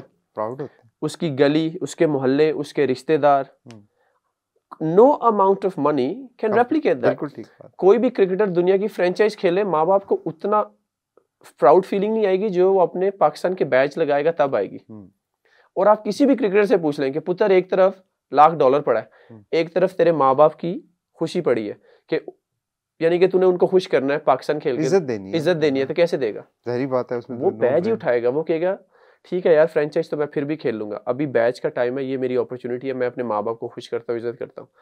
लेकिन समीन भाई for example playing for every country has its own challenges सही बात है। अब अगर मैं कंट्री से खेल रहा हूँ लेकिन फ्रेंचाइज को मैं कंट्री के साथ ऐड करके जो मेरे फाइनेंशियल डिफिकल्टीज लाइफ में हैं समीन भाई मेरा हक नहीं है कि मैं अपने माँ बाप को एक अच्छा घर दूँ। बिल्कुल है। अगर वो बेचारे पब्लिक ट्रांसपोर्ट पे आ रहे थे अगर मुझे अल्लाह ने क्रिकेटर बनाया तो मैं उनको एक अच्छी सी गाड़ी या कोई को, कोई भी ऐसी ट्रांसपोर्ट लेके दूँ जिसमें वो कंफर्टेबल हो। उनकी खिदमत करना आपका करेक्ट हर किस्म से। समीन भाई वाले साहब समझाते हैं मुझे ये बात कहते हैं पुत्र काम के साथ लॉयल रही। मैंने कहा अच्छा कहते हैं मैं तो ये इसलिए बता रहा हूँ कि जब तेरे माँ बाप बीमार पड़ेंगे ना जब तेरे पास इलाज के पैसे नहीं ना होंगे वो चीज़ तुझे बहुत चुभेगी। बहुत चुभती है सही बात। ठीक है? ये याद रखें कि फ़र्ज़ करो मैंने अपने माँ बाप का इलाज कराना है। मेरे पास उस चीज़ के पैसे ही ना हो और मेरे पास अपॉर्चुनिटी थी कि मैं उनसे थोड़ी देर के लिए दूर जाके हम्म, वो अपॉर्चुनिटी अवेल करके अगर मैं फाइनेंशियली स्टेबल हो जाता हम्म, तो आज मैं अपने माँ बाप की बेहतर तरीके से खिदमत कर सकता था। हम्म, सो समीन भाई दैट इज़ दी गोल लेकिन अगेन मैं ये कह चुका हूँ कि मैं भी था। हमारा ये जो culture I think is based on a lot more emotions than logic लेकिन मुझे एक बात बताएँ। पंद्रह साल मैक्सिमम या वो भी अगर लकी हो हम। बहुत आप लकी हो। आपका कैरियर क्रिकेटर की एक ज़िंदगी जो है average seven to eight years कर ले। सेवन टू एट ईयर्स है। हम्म। अच्छा वो सेवन टू एट ईयर्स वो हैं जो आपकी प्राइम है आपकी लाइफ का। नॉर्मली आप उन बीस उन्नीस बीस इक्कीस बाईस साल के होते हो और तीस बत्तीस साल तक खेलते हो। वो प्राइम टाइम में मैंने तो खैर क्रिकेटर्स के साथ थोड़ा टाइम गुजारा है आप तो माशाल्लाह हो। आपकी ज़िंदगी की सारी लर्निंग जो है वो है ground bowling batting fielding hotel का कमरा। जी। उसी टाइम पे आप ही के कंपेटिटर कंपेटिटर तो नहीं कह रहे आप ही जैसे बाकी बच्चे जो क्रिकेट नहीं खेल रहे लाइक माई हम्म। वो पढ़ाई कर रहे होते हैं। जी। अब वो इंजीनियर बनेंगे वो डॉक्टर बनेंगे वो चार्टर्ड अकाउंटेंट वो एक कैरियर बना रहे जी। आपने एक कैरियर ऐसा चूज़ किया जिसकी शेल्फ लाइफ है। जी। आठ साल दस साल शेल्फ लाइफ जी। मैंने एक ऐसा कैरियर शुरू किया जो मेरे मरते दम तक मेरे साथ रहेगा। करेक्ट अच्छा क्वेश्चन मेरा ये है कि आठ सालों में आपने अपनी अर्निंग को मैक्सिमाइज करना है करना रिस्क के हलाल की बात बिल्कुल कर करना वो आपका हक है वो आपका राइट है। अब आठ साल नौ साल बाद आपको जब आप रिटायर होते हो तो आपको कहा जाता है कि उस बच्चे से जाके compete करो जो दस साल से पढ़ाई करके एक longer term career how does that feel so मैं समीन भाई most of the cricketers Sameen भाई अब आप अगर चार्टर्ड अकाउंटेंट थे तो आप भी एक टाइम तक पढ़ते थे। सही बात। समीन भाई क्रिकेटर क्योंकि हमारे पाकिस्तान या आप बांग्लादेश या इंडिया या जो अफ़गानिस्तान जो एशियन कंट्रीज़ है ना वहाँ पे under 16 matters a lot it's a hmm. Big thing under 19 का वर्ल्ड कप होता है। हम्म, it's a big thing unfortunately और ये सैड रियलिटी भी है लाइफ की और मैं पल के पेरेंट्स को इनकरेज भी करूँगा कि कुछ भी हो जाए अपनी औलाद को तालीम ज़रूर दें। क्रिकेट उनकी एक फ़ेज़ है लाइफ नहीं है। लेकिन क्रिकेट से पहले भी लाइफ है क्रिकेट के बाद भी लाइफ है। पाकिस्तान में आप देखें चले मान लिया ठीक है मेजोरिटी कौन खेलता है? मेजोरिटी ऑफ़ क्रिकेटर्स ने इतना ज़्यादा नहीं पढ़ा। चले मान लिया। देखिए वो खेलते ही वो है ना। जी। हमारा कल्चर जो है आप पाकिस्तान के कल्चर से बहुत अच्छी तरह जी, जी। है। अगर आप देखें अब ये लीग्स की वजह से तो शायद थोड़ा बेहतर हो गया लेकिन पहले क्या होता था? पहले होता था कि मेरा बच्चा डॉक्टर बनेगा इंजीनियर बनेगा या जो प्रोफेशन है वो बनेगा। वो नहीं बन सका। हमने कहा यार ये तो निकम्मा था। चलो इसको किसी टेक्निकल हैंड में डाल देते हैं। इसको मैकेनिक बना देते हैं इसको अच्छा, वो- वो भी नहीं बन सका। हमने एक और भी कैरियर ढूंढा कि यार हम इसको रिलीजन की तरफ़ ले जाते हैं। ये वो कर ले। वो वो भी नहीं कर सका अगर इसको दुकान डाल देते हैं चलो अपना छोटा काम कर ले। यानी आप अगर लेटर देखें ना जो जो कुछ नहीं कर सका ना वो वेला क्रिकेट खेल रहा था। जी। ऐसे नहीं है? ऐसी हमारा कल्चर तो ऐसे ही ही अब हम उससे ढूंढना चाहते हैं हमने कोई इंस्टीट्यूशन नहीं बिल्ड किए हमने कुछ हम उससे वो बंदा ढूंढना चाह रहे हैं जिसकी आप बात कर जी। कि वो तालीम पे तवज्जो ये ये पॉसिबल है? समीन भाई आई थिंक थोड़ा सा पॉसिबल है लेकिन आपकी पिछली बात का आंसर कि हमारे majority of the cricketers because cricket is a full time job यानी कि हम लोग सुबह जब सूरज निकलना है तो लड़कों ने अपनी ट्रेनिंग पे जाना है। और अल्हम्दुलिल्लाह पाकिस्तान में तो चलो फिर भी थोड़ी सी इस तरह के हैं कि कुछ क्लब्स कुछ फैसिलिटीज़ उनको सारा दिन ट्रेनिंग करा के खाना खिला के शाम को घर भेजते हैं। जिम्बाब्वे में तो शायद वो भी नहीं वो नहीं है। हाँ। तो अब उन बेचारों का क्रिकेट भी हो गया ट्रेनिंग भी हो गई खाना पीना भी हो गया। Sometimes we don't even know कि कुछ क्रिकेटर्स शायद बेचारे खाना भी अफोर्ड ना कर पाते हो। So it's a full time job. So Sameen भाई उस बच्चे ने अंडर 19 या नेशनल टीम खेलते हुए उसने 10 12 साल एवरी डे फुली क्रिकेट को दिया। ऐसे ही है। अब वो कैसे compete करे? हाँ वो नहीं करेगा लेकिन उसका भी मैं बता दूँ। अब समीन भाई वो नेशनल टीम पे आ गया चले। वो आ गया। सोलह लड़के या बीस आते हैं। सोलह या बीस आते हैं और इतनी ज़्यादा आबादी में जिधर क्रिकेट इज़ दी ओनली और the most followed sport any. वो आ गया समीन भाई उसके पास अब आठ साल है। अपनी फैमिली को और अपने आप को उस सब चीज़ों से निकालते हुए जो उसने फेस की हैं। एंड इफ़ ही स्मार्ट हमारे क्रिकेटर्स कुछ इतने स्मार्ट नहीं है। इफ़ ही स्मार्ट उसने आठ सालों में ज़िंदगी के बीस और ज़िंदगी अल्लाह उसको लंबी से अगले साठ साल का भी देखना है। हाँ। या चालीस साल का भी इन आठ सालों में। हाँ। उन आठ सालों में उसने सिक्सटी सेवेंटी एटी ईयर्स की इन्वेस्टमेंट या कुछ करना है। हमारा क्रिकेटर्स क्या करते हैं? आठ साल क्रिकेट खेल के निकल तो आते हैं।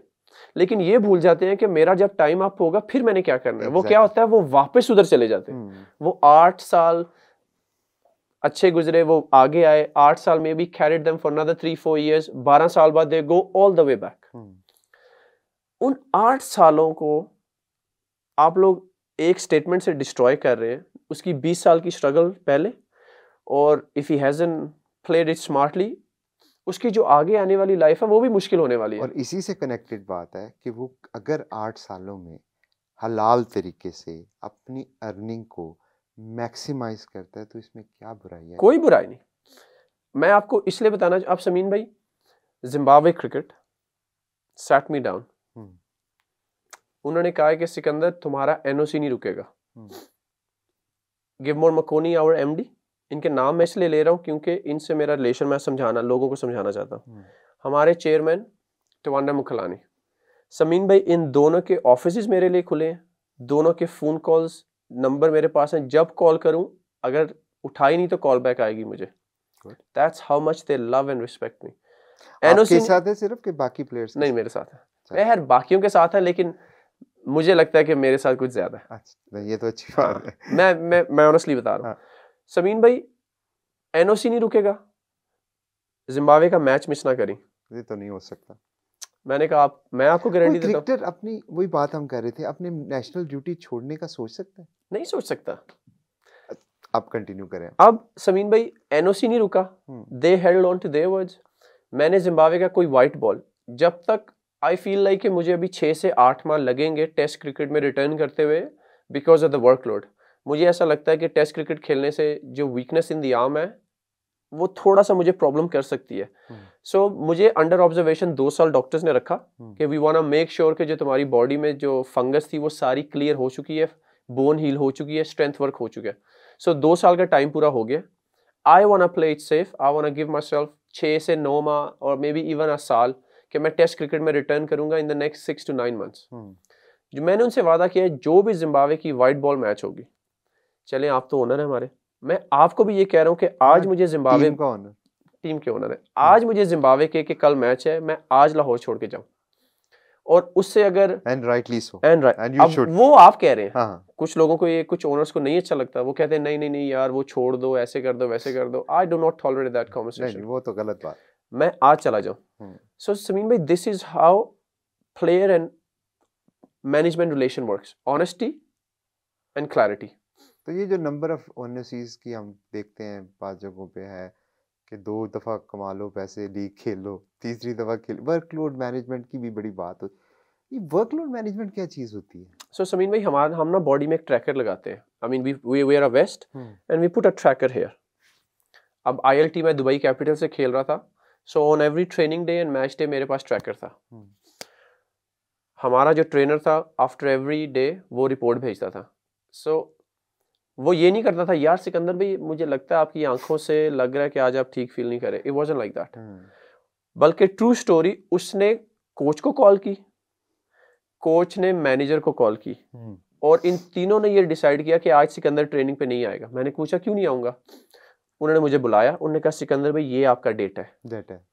You have done more mileage than our fast bowlers you are यानी कि जो हम नंबर्स देख रहे हैं they are scary we feel you will do something यानी कि ये नेचुरल और नॉर्मल नहीं है. Normally मैंने कहा लेकिन यार आई फील फाइन कहते हैं कि you feel fine we don't feel fine to let you train today today is your day off और फिर हम कल देखेंगे कि तुम्हें दे so it's not an assumption everything is on the page everything is on the laptop screen वो numbers आ जाते हैं. फॉर एग्जांपल जब आईएलटी खत्म हुआ तो उसने मुझे डेटा भेजा. एंड फन इनफ हम लोग कॉफ़ी पी रहे थे। हम्म, और रेहान भाई भी आ गए। सो हम्म। रेहान भाई ने कहा कि आउट ऑफ़ इंटरेस्ट दिखा और मेरे साथ अब्दुल्ला था हुसैन था और भी एक दो दोस्त हम कॉफ़ी पी रहे थे। तो he had a look as well so he said कि यार this are very you know this is good लेकिन दोज वर अगर मैं वो अपने ट्रेनर को दिखाऊँ दोज आर रिमार्केबल या अननेचुरल रीडिंग्स के। I did fifty hours on the ground in I I did ninety seven thousand four hundred and eighty metres in a tournament वाह और मेरा वर्कलोड ये गैस तो नहीं हो ये गैस नहीं है। ये सब कुछ उधर है। हाँ ये नहीं हो सकता कि मैंने आपको देखा और कहा कि तेरा वर्कलोड ज़्यादा है। नो नो नो समीन भाई नेट्स में मेरे ओवर्स मॉनिटर थे। हाँ। मेरी बैटिंग टाइमिंग तो मॉनिटर थी। ऐसा कोई तरीका हो सकता है? अगर आप एक्स क्रिकेटर हो आपके पास बहुत नॉलेज हो आपको देख के पता लग जाए। नहीं समीन भाई ये कोई नजूमियों वाला काम है कि यूँ किया और सामने नो समीन भाई इस डेटा। आप देख के नहीं बता सकते। अब मुझे तो नहीं पता कि व्हाट कॉन्वर्सेशन इस कल्चर में ऐसी क्या कॉन्वर्सेशन देख के नो बडी कैन टेल वो डेटा हमारा ट्रेनिंग में हम पहनते हैं. हम्म, वो हमारा ट्रेनर स्टोर करता है. उसे पता होता है कि इसने इतने over not only that Sameen भाई वो ये भी बता सकता है कि तुमने जान से ओवर किए हैं कि सिर्फ़ बस गलो लाइन है. वो ये भी बताता है हम्म, कि द अमाउंट ऑफ़ फोर्स तुमने अपनी बॉडी पे आज दी है that's way less than your match force. इसका मतलब something is not right so वो डेटा से आप पकड़े जाओगे। लेकिन हम पीएसएल में तो ऐसा कुछ नहीं करते। जी। तो ये एक गैप है हमारा। In my opinion I think next year आपको करना चाहिए। Be the first team to do it that that's a wonderful idea because हमारे तो मेरी तो खैर जो भी मैंने देखा है वर्कलोड मैनेजमेंट इज़ अ बज वर्ड जिसको हम यूज़ करते हैं वेयर इट्स कन्वीनियंट जी। और उसकी बेसिस पे हम खैर डिसीजंस भी लेते हैं। और कभी परफॉर्मेंस गलत हो जाती है तो उसको हम कंफ्यूज कर देते हैं वर्कलोड से कि ये लीगें ज़्यादा खेल रहा है। या ये ये शायद ज़्यादा कर रहा है या ये टेस्ट मैच ज़्यादा खेल रहा है या ये डोमेस्टिक ज़्यादा खेल तो उस तरह से हम कन्फ्यूज़न में, में मेरी जो अंडरस्टैंडिंग है वो ज़्यादा है। क्योंकि पीएसएल में तो हमने ऐसा कोई मैंने नहीं किसी टीम को देखा कि ट्रैकर लगाए हों मेरा ख्याल है समीन भाई आप इंट्रोड्यूस कराएँ क्योंकि हम आईपीएल में ट्रैकर पहनते हैं हम्म, आईएलटी में ट्रैकर पहनते हैं। Which other league have I been to national team में भी स्पेशली मुझे ट्रैकर पहनाते हैं बिकॉज़ समीन भाई मेरा वर्कलोड बहुत ज़्यादा होता है। हम्म, क्योंकि मैंने हॉटस्पॉट पे फील्डिंग करनी है मैंने अपने ओवर करने हैं वनडे में या टी ट्वेंटी में मैंने बैटिंग करनी है। सो so, मुझे ट्रैकर लगा होता है कि उससे ये होता है समीन भाई ट्रैकर की ये अच्छी बात भी है कि tracker can basically tell you before a cardiac arrest के समथिंग इज़ नॉट राइट अगर मेरी हार्ट बीट जब मैं स्प्रिंट कर रहा हूँ is hundred and two suddenly मैं खड़ा हूँ and it goes to hundred forty and fifty you know something is about to happen जिस तरह वॉच आपकी कर जी। देती। सो so, समीन भाई आई थिंक उससे प्रिवेंशन इंजरी प्रिवेंशन भी हो सकती है। इससे एक चीज़ मुझे जहन में आई कि अब आपने माशाल्लाह इतनी लीगें खेली। आपके ख्याल में पीएसएल में क्या चीज़ इंप्रूव होने की ज़रूरत है? समीन भाई लीग का ना पूछे लाहौर का पूछे। पीएसएल को कहा ना तो वो चले लाहौर कलंदर में इंप्रूव करने की क्या क्योंकि आप तो बर्दाश्त कर जाएँगे लेकिन I think as a whole league पे क्रिटिसिज्म हो जाएगा। It's not criticism it's the suggestion for improve because as an owner मैं लाहौर को दे सकता हूँ मैं लीग को नहीं दे सकता। चले आप मुझे दे दें हाँ। मैं उसको कैरी कर लूँगा बिकॉज़ हमारा as an owner and all the stakeholders उनका ये मकसद ये है कि हम ज़रूरी नहीं कि हम री इन्वेंट करें व्हील को हम आप लोगों से सीख भी सकते हैं ना। अब मेरे पास तो टीम नहीं है आई एल टी में या आई पी एल में बट कुछ अच्छी चीज़ें वहाँ पे भी हो रही होंगी। जो। मैं हो हैं। समझता हूँ कि पीएसएल को अगर हम उनसे कॉपी बेशक ना करें लेकिन अगर उनसे इंस्पिरेशन लेके ट्रैकर की आपने बात की जी। हम अगर इस तरह करते हैं तो इससे लाहौर कलंदर तो चले अच्छी हो सो हो हमारी लीग भी क्योंकि मकसद तो पाकिस्तान की लीग को बड़ा करना। है। तो मैं उस कॉन्टेक्स्ट में पूछ रहा हूँ। समीन भाई उससे भी बड़ा मकसद है ग्लोबल सुपरस्टार्स पाकिस्तान के लिए निकालना। मैं हमें फॉर एग्जांपल मेरी जिम्बाब्वे में भी जो डिबेट हुई थी सो वहाँ पे एक दफ़ा ये हो रहा कि एक फ्रेंचाइज विदाउट नेमिंग देम उन्होंने ये कहा कि हमने इस लड़के को नहीं खिलाना क्योंकि ये हमारे शहर का नहीं है। हम्म। ये होता है हाँ मैं मैं आप मैं शुरू से ही ऐसा था सो आई स्टूड अप। हम्म, मैंने कहा your job is to create players for Zimbabwe not for your town आप लोग ये ना कहें कि ये हमारी सिटी में नहीं रहता तो मैंने इसे सेलेक्ट नहीं करना। That's. Nonsense hmm, hmm, and I spoke to the MD again credit to him उससे मेरी बात सुनी। I spoke to the chairman मैंने कहा ये ये गोल नहीं होना चाहिए कि ये मेरे शहर की टीम है। ये जिम्बाब्वे की टीम है सारी। यू डोंट ओन देम ये the whole idea is even above trophy हार जीत से ऊपर भी आपके लिए होना चाहिए कि मैंने जिम्बाब्वे के लिए लड़के प्रोड्यूस करने हैं। जब मुल्क अच्छा करेगा ना सब कुछ अच्छा हो जाएगा। So so broaden your vision तो क्रेडिट टू जिम्बावे क्रिकेट और एमडी और चेयरमैन उन्होंने कहा कि ये लड़का खेलेगा जो सिकंदर ने कहा है। That's how much they love and respect me there That's तो समीन भाई again Lahore like you said is not about these six franchises. Hmm, it's about कि यार क्योंकि मैं आपको एक बात अभी बता रहा हूँ ओपनली जो आज के प्लेयर हैं और जो हमारी पिछली जनरेशनल प्लेयर्स हैं आज के प्लेयर की शेल्फ लाइफ कम है। ऐसे ही। क्योंकि क्रिकेट ज़्यादा है। बहुत ज़्यादा। इंजरीज थ्रेड ज़्यादा है। बिल्कुल है। क्रिकेट ज़्यादा होने से कंपटीशन बहुत ज़्यादा है। सो एक एक स्पॉट के लिए चार चार पाँच पाँच लड़के लड़ रहे हैं। और पहले ऐसा नहीं था। ऊपर से समीन भाई मीडिया है। सबको नज़र आ रहा है कि किसके साथ ज्यादती और किसके साथ फेयरनेस हो रही है। पहले वो भी इतना ज़्यादा नहीं था। और एक्सपेक्टेशन बहुत ज़्यादा डिमांड हाँ। बहुत आपने कब देखा होगा पुराने ज़माने में? खैर मैं देखता था। मिड ऑन और मिड विकेट पे फास्ट बॉलर वो फील्डिंग करते आपने कब देखे थे? अब तो अब हारिस और शहीन को मैं देखता हूँ या बाकी जो फास्ट बॉलर्स हैं हॉट स्पॉट पे फील्डिंग आज मैं शहीन को कह रहा कि तू हमारी टीम का जिमी एंडरसन है। तुझे हाँ। हमें स्लिप में भी खड़ा करना पड़े यू दे लॉन्ग ऑन का Shaheen was doing long on to long on at ILT वही- मैं था मैं था उस मैच में। सो इट्स नॉट इट्स तो नॉट पुराने ज़माने के जो फास्ट बॉलर थे वो ओवर करते थे और लॉन्ग ऑन पे जाके वो खड़े हो जाते थे फाइन लेग पे। फाइन लेग पे और हिलते भी नहीं थे वहाँ से। मैं तो खैर बचपन में इतनी क्रिकेट देखता भी नहीं था मुझे तो बस स्टडीज़ का था। सो इनकी शेल्फ लाइफ कम है and accept it and please accept it होना ऐसे ही है। हाँ। सो समीन भाई P S L is your one of क्योंकि पाकिस्तान में तो और टूर्नामेंट्स भी है आई श्योर के हैं कायदम ट्रॉफी है फिर नेशनल बैंक टी ट्वेंटी और वनडे को भी कुछ कहते हैं है अभी हम कुछ और भी लेके आ हाँ रहे हैं। सो माशाल्लाह PSL is probably the highest platform जहाँ से आपके पाकिस्तान के लड़कों की फीडिंग चलती रहेगी। वो सब फ्रेंचाइजीज का रोल है किसी एक फ्रेंचाइज का नहीं है। हम्म, सो लाहौर को मैं क्या एडवाइस दूँगा? समीन भाई do I think you have given us the best top quality kit yes you have so we take that box do we think आप लोगों ने हमें बेस्ट होटल्स में ठहराया? हमारी transport food everything that you possibly could have given us yes you have क्या करना चाहिए? समीन भाई एक तो आई थिंक कि ये जो आपने एक विशी वुशी वर्ड बताया ना कि वर्कलोड आप ट्रैकर लाएँ सबके सामने आ जाएगा। हम्म, हम्म, वो data accessible for all players है। हम्म, हम लोग लड़कों को इंजरी से पहले बचा सकते हैं। हम्म, कुछ इंजरीज अब लड़का इंजर्ड होता है तो हम कहते हैं यार इसने ये किया होगा ये किया होगा खाना नहीं सही खाया या इसने जान नहीं मारी या एकदम there a lot of ways शादी होगी ये भी कहते हैं। आई समीन भाई I can not believe that Honestly. is the most absurd thing I have heard. आपके वालदेन की भी हुई थी। फिर माशाल्लाह आप आए फिर आपकी भी होगी आपके बच्चों की भी होगी। जब आपके बच्चों की होगी ना तब आपको पता चलेगा कि, कि क्या अच्छा फीलिंग होती बड़े है। बड़े बड़े कुछ सीनियर लोग ऐसी बात तो हम लोग ना करें। मतलब क्या करें? तो वो बेसिकली कह रहे हैं कि हम लोग यहाँ क्रिकेट ना खेलें या शादी ना शादी ना करें। How absurd is that Sameen भाई life cricket is a phase of life इस बात को समझें। It is not my life ऐसे नहीं लगता कि जिसके मुँह में जो आता है वो बोल देता है? समीन भाई मुझे कभी कभी क्या लगता है कि एंड अल्हम्दुलिल्लाह again I go back to Zimbabwe हमारे पास टीवी चैनल्स कम है। So there is very limited people जिनके ओपिनियंस मैटर करते हैं। हाँ। जहाँ पे टीवी चैनल्स और इलेक्ट्रॉनिक मीडिया काफ़ी ज़्यादा हो जाए ना तो फिर हर कोई कुछ भी बोल देता है। So and there is no check and balance कि आप क्या बोल रहे हैं। और मज़े की बात है वो जो जितना नेगेटिव बोलता है मुझे लगता है उसको इतने ज़्यादा लाइक्स और उतना ज़्यादा पोस्ट और उतना ज़्यादा इनकरेज किया जाता है। सोशल मीडिया पे वैसे ऐसे ही लगता है कि जो मैंने भी ये नोटिस किया है जो सेंसेशन है ना जो सेंसेशनलाइज करना है चीज़ों को वो बिकता है और लाइक्स के लिए लोग बहुत सारी चीज़ें करें। ये अब्दुल्ला से और ये बॉन्ड कैसे बना? अब्दुल्ला तलत और आप ये मैं देखता हूँ ये ट्राइका जो है बैक हर- बेंचर्स हैं जो। हर जगह इकट्ठे इकट्ठे घूमता है। जी। इस मोहब्बत का क्या राज है? मोहब्बत का राज ये है कि मैं एक दफ़ा फैसल बैंक टी ट्वेंटी खेलने आया था। उस टाइम पाकिस्तान में क्रिकेट हो नहीं रही थी तो कामरान अकमल ने मुझे बुलाया था।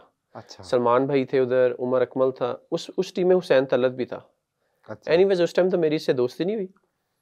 फिर ये था कि जब हम लोग पीएसएल पे आए ना एक टीम में उससे पहले मेरी से एक दो जगह मुलाकात हो गई। तो हम लोगों की थोड़ी बहुत दोस्ती होगी लेकिन पीएसएल जब हम लोग कलंदर्स में आए ना फिर हमारी बहुत ही गहरी दोस्ती एक अच्छी दोस्ती होगी। और अब्दुल्ला की स्टोरी ये है कि अब्दुल्ला के वाल साहब और मेरे वाल साहब ये सेम कॉलेज से पढ़े हैं अच्छा सेम टीम में क्रिकेट खेले हैं। Oh that I didn't know हाँ। अच्छा। तो अब्दुल्ला का जब डेब्यू था तो मुझे वालिद साहब ने कहा कि कि ये मेरे दोस्त का बेटा है। तो वो कुदरती एक उनसियत होगी कि मैंने अब्दुल्ला को टीवी पे देखना स्टार्ट कर दिया। ओके और जब लाहौर में हम लोग एक साथ हुए हाँ हाँ तो ऐसा लगा ही नहीं कि मैं ऐसे फ़र्स्ट टाइम मिल रहा हूँ। वो ऐसा लगा कि जो हमारे वालिद साहब और अब्दुल्ला के वालिद साहब थे वो अब दो बेटे आपस में चल सो चल चल पड़ा सिलसिला। ये जो आपकी गैदरिंग होती है उसमें 90 परसेंट तो मुझे लगता है आप ही बोलते होगे क्योंकि अब्दुल्ला को तो मैं बोलते कम ही देखता हूँ। अब्दुल्ला रूम में ज़्यादा बोलता है लेकिन वैसे कम बोलता है। जिसके साथ वो फ्री नहीं है उससे हाँ, भी बात नहीं, नहीं करता। करता। उसका भी मैंने पॉडकास्ट करना है वैसे। हाँ तो ये कि वो मेरे लिए एक चैलेंज बनेगा हाँ। बनेगा लेकिन मेरे साथ तो बहुत बातें करता है और समीन भाई फिर ये होता है कि हमारी जो कॉन्वर्सेशन होती है ऑफकोर्स समीन भाई हम लोग हल्ला गुल्ला इधर उधर की बातें तो करते हैं लेकिन मुझे ऐसा लगता है कि क्रेडिट टू हुसैन और क्रेडिट टू अब्दुल्ला ये मुझसे मेरी लाइफ और क्रिकेट की काफ़ी बातें करते हैं। अच्छा। मुझसे शायद सीखने की कोशिश करते हैं कि इस सिचुएशन में क्या है इस सिचुएशन में क्या है। हुसैन और मैं तो ऑलमोस्ट एक ही रोल पे खेलते थे। अब्दुल्ला क्योंकि अब इस साल नंबर फोर खेला है तो हम लोगों ने नेट्स भी स्टार्ट कर दिए हैं कि अब्दुल्ला इस टाइम पे मैं ये सोच रहा हूँ see if it helps you इस टाइम पे बॉल ये कर रहा होता है see if it helps you इस टाइम पे ये ऑप्शन तेरे लिए बेटर है ये ऑप्शन तुझे ज़रूरत नहीं है। तो हम लोगों ने बैटिंग इसलिए स्टार्ट कर दी क्योंकि अब्दुल्ला एक्साइटेड था कि सिकंदर भाई मैं नंबर फोर पे खेल रहा हूँ नया बॉल तो मैं रोज़ ही खेलता हूँ। अगर मैं अपनी टॉप ऑफ़ द इनिंग्स को नंबर फोर वाली इनिंग्स के साथ जोड़ूँगा तो टी ट्वेंटी में भी मैं बड़े रन कर सकता हूँ। बिल्कुल सही बात। सो माशाल्लाह जो उसका माइंडसेट था ना हम्म, वहाँ से मुझे समझ आ गई कि he is got a very good मुझे तो वैसे भी पता था लेकिन जब उसने ये कहा तो मुझे यकीन हो गया कि इसका लाइफ में और क्रिकेट में एटीट्यूड अच्छा है। हम्म, और जिसका एटीट्यूड अच्छा होना समीन भाई क्रिकेट रिवॉर्ड करती ही करती है। उसने एक दफ़ा नहीं कहा कि यार मैं अच्छा वाला लास्ट ईयर वन टू पे खेल रहा था या थ्री पे खेल रहा था मैंने परफॉर्म किया इस साल चार पे। वो एक्साइटेड था। वो कहता है सिकंदर भाई ऊपर वाला तो हिस्सा मेरा सॉर्टेड है। यानी कि हम्म। सॉर्टेड मैं काफ़ी देर हम्म। कर रहा हूँ।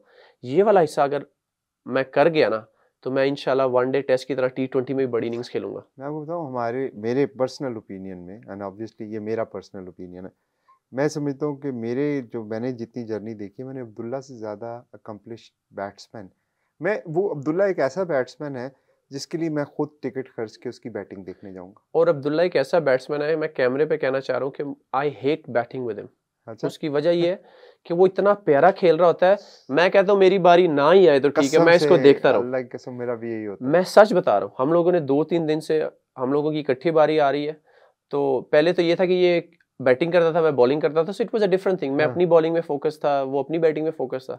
लेकिन जब से हमने तीन चार नेट सेशन इकट्ठे किए ना मैंने कहा यार ये तो खेली जा रहा है मेरी बारी नहीं आती लेकिन मुझे तकलीफ़ नहीं हो रही। हाँ, लेकिन मैं बस उसको देख ही रहा हूँ। यानी कि वो ऐसा है कि वो खेलते हुए भी अच्छा लगता है उसकी शॉट्स प्यारी लगती हैं। इनक्रेडिबल मैं समझता हूँ कि जितनी अल्लाह ताला ने उसको स्किल दी है वो जितना वो प्यारा खेलता है क्रिकेट खूबसूरत लगती है जब वो खेलता है तो। यानी कि मुझे ऐसा लगता है कि आई नो माई सेल्फ यानी कि मैं बड़ा स्क्रैपी सा ग्रिटी सा मे भी क्रिकेटर हूँ। मे भी देखते हुए इतना प्यारा ना लगूं लेकिन बहुत प्यारे लगते हैं लेकिन जो अब्दुल्ला है ना वो वो वो क्लास वो जिस तरह एक आर्टिस्ट होता है ना हाँ सही बात ही। Made batting like you know एक एक एक उसको आर्ट बना दिया सही बात है। उसकी बैटिंग उसकी positioning the way he hit वो मतलब दिल से ना वाह निकलती है कि वाह ऐसे ही है। अच्छा ये बताएँ कि इतने सारे आपने लोगों से मिले होंगे दोस्तियाँ भी बनाई होंगी। जी। प्रोफेशनली तो ऑब्वियसली आपके सारे कुलीग्स हैं you respect them they respect एक पर्सनल दोस्ती क्रिकेट में सबसे ज़्यादा आज तक किससे हुई है आपकी? समीर भाई पर्सनल दोस्ती का मतलब कि मैं किसी टाइम भी उनको फ़ोन हाँ, करके फ़ोन जैसे यानी वो यार बन गया। हाँ। मैं क्रिकेटर का नाम इसलिए लेना चाहूँगा कि क्योंकि ये क्रिकेटिंग सेगमेंट है बाकी हाँ। लोगों का तो होगा नहीं किसी को लेकिन जारी बात है मेरे लाइफ के कुछ फ्रेंड है क्रिकेटर की बात क्रिकेटर मुझे लगता है कि समीन भाई एक का नाम लेना मुश्किल है। तो चले दो ले।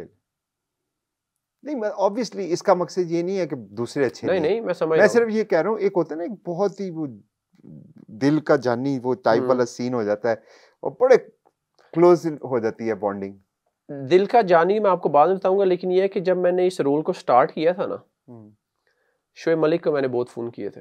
अच्छा। हाँ। अच्छा। और वो मुझे रिप्लाई भी करते थे। मैं उनसे बैटिंग एट नंबर फाइव सीखता भी था पूछता था how do you bat at five the best guy correct हाँ। एज अ क्रिकेटर उन्होंने मेरा बड़ा साथ दिया। हम्म। और मैं ये भी रिकॉर्ड पे कहूँगा कि पाकिस्तान जिम्बाब्वे आई। शुएब सीरीज़ खत्म हुई तो शुएब भाई ने मुझे कहा बैट ला आपने मैं अपने बैट लेके आया। हम्म। तो उन्होंने मेरे बैट्स देखे हम लोगों ने पिंक टेस्ट किया बॉल मारा। तो मलंग भाई भी आए थे स्टोर पे। उन्होंने अच्छा। मलंग को कहा कि जा मेरे बैट्स लेके आ। अच्छा। उनके बैट आए। उन्होंने अपने बैट पकड़े उन्होंने कहा पुत्र ये एक रख ले। The reason I am mentioning this कि समीन भाई जिसने मेरे लाइफ में और करियर में मेरा साथ दिया I do not forget them नहीं बड़ी अच्छी बात एंड आई रिस्पेक्ट देम और जहाँ पे मुझे मौका मिलता है मैं वो स्टोरी शेयर भी करता हूँ। हम्म, बाकी अगर कोई बंदा है जब मैंने बॉलिंग एक्शन चेंज किया मैं बॉलिंग पे आता हूँ हम्म, तो मुझे सुनील नारायण और इमरान ताहिर। अच्छा। वेरिएशंस में इमरान ताहिर और एक्शन को समझने में और बेटर करने में सुनील नारायण। हम्म, इनको मैंने जब मैसेज किया हम्म। इन्होंने मुझे रिप्लाई किया। सुनील आपको पता है कलंदर से भी खेले हो? जी जी मुझे I remember one of the favourite player मेरे जो थे वो जी। सुनील थे। So So Sunil Narayan was always there on hand. ठक ठक ठक रिप्लाई ऐसे कर ऐसे कर। अभी भी मैं उससे ज- उन्हें जब मिला हूँ अबू धाबी नाइट राइडर से खेल थे तो उन्होंने एक नई वेरिएशन स्टार्ट की है। तो मैं उनसे पूछ रहा था ये कैसे होती है? उन्होंने उसी टाइम मुझे बताया। हम्म, उसके बाद फ्रेंचाइज वर्ल्ड को समझने में अगर किसी ने मेरी हेल्प की है फ्रेंचाइज वर्ल्ड को समझने में कि how does the franchise operate hmm, Ravi Bopara. Okay.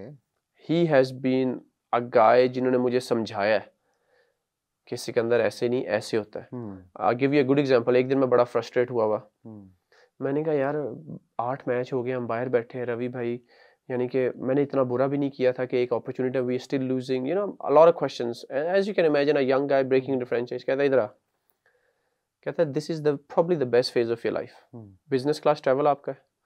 Hotel seven star में तुम रुक रहे हो. अलाउंसेस तुम्हें लोग दे रहे हैं खाना पीने के.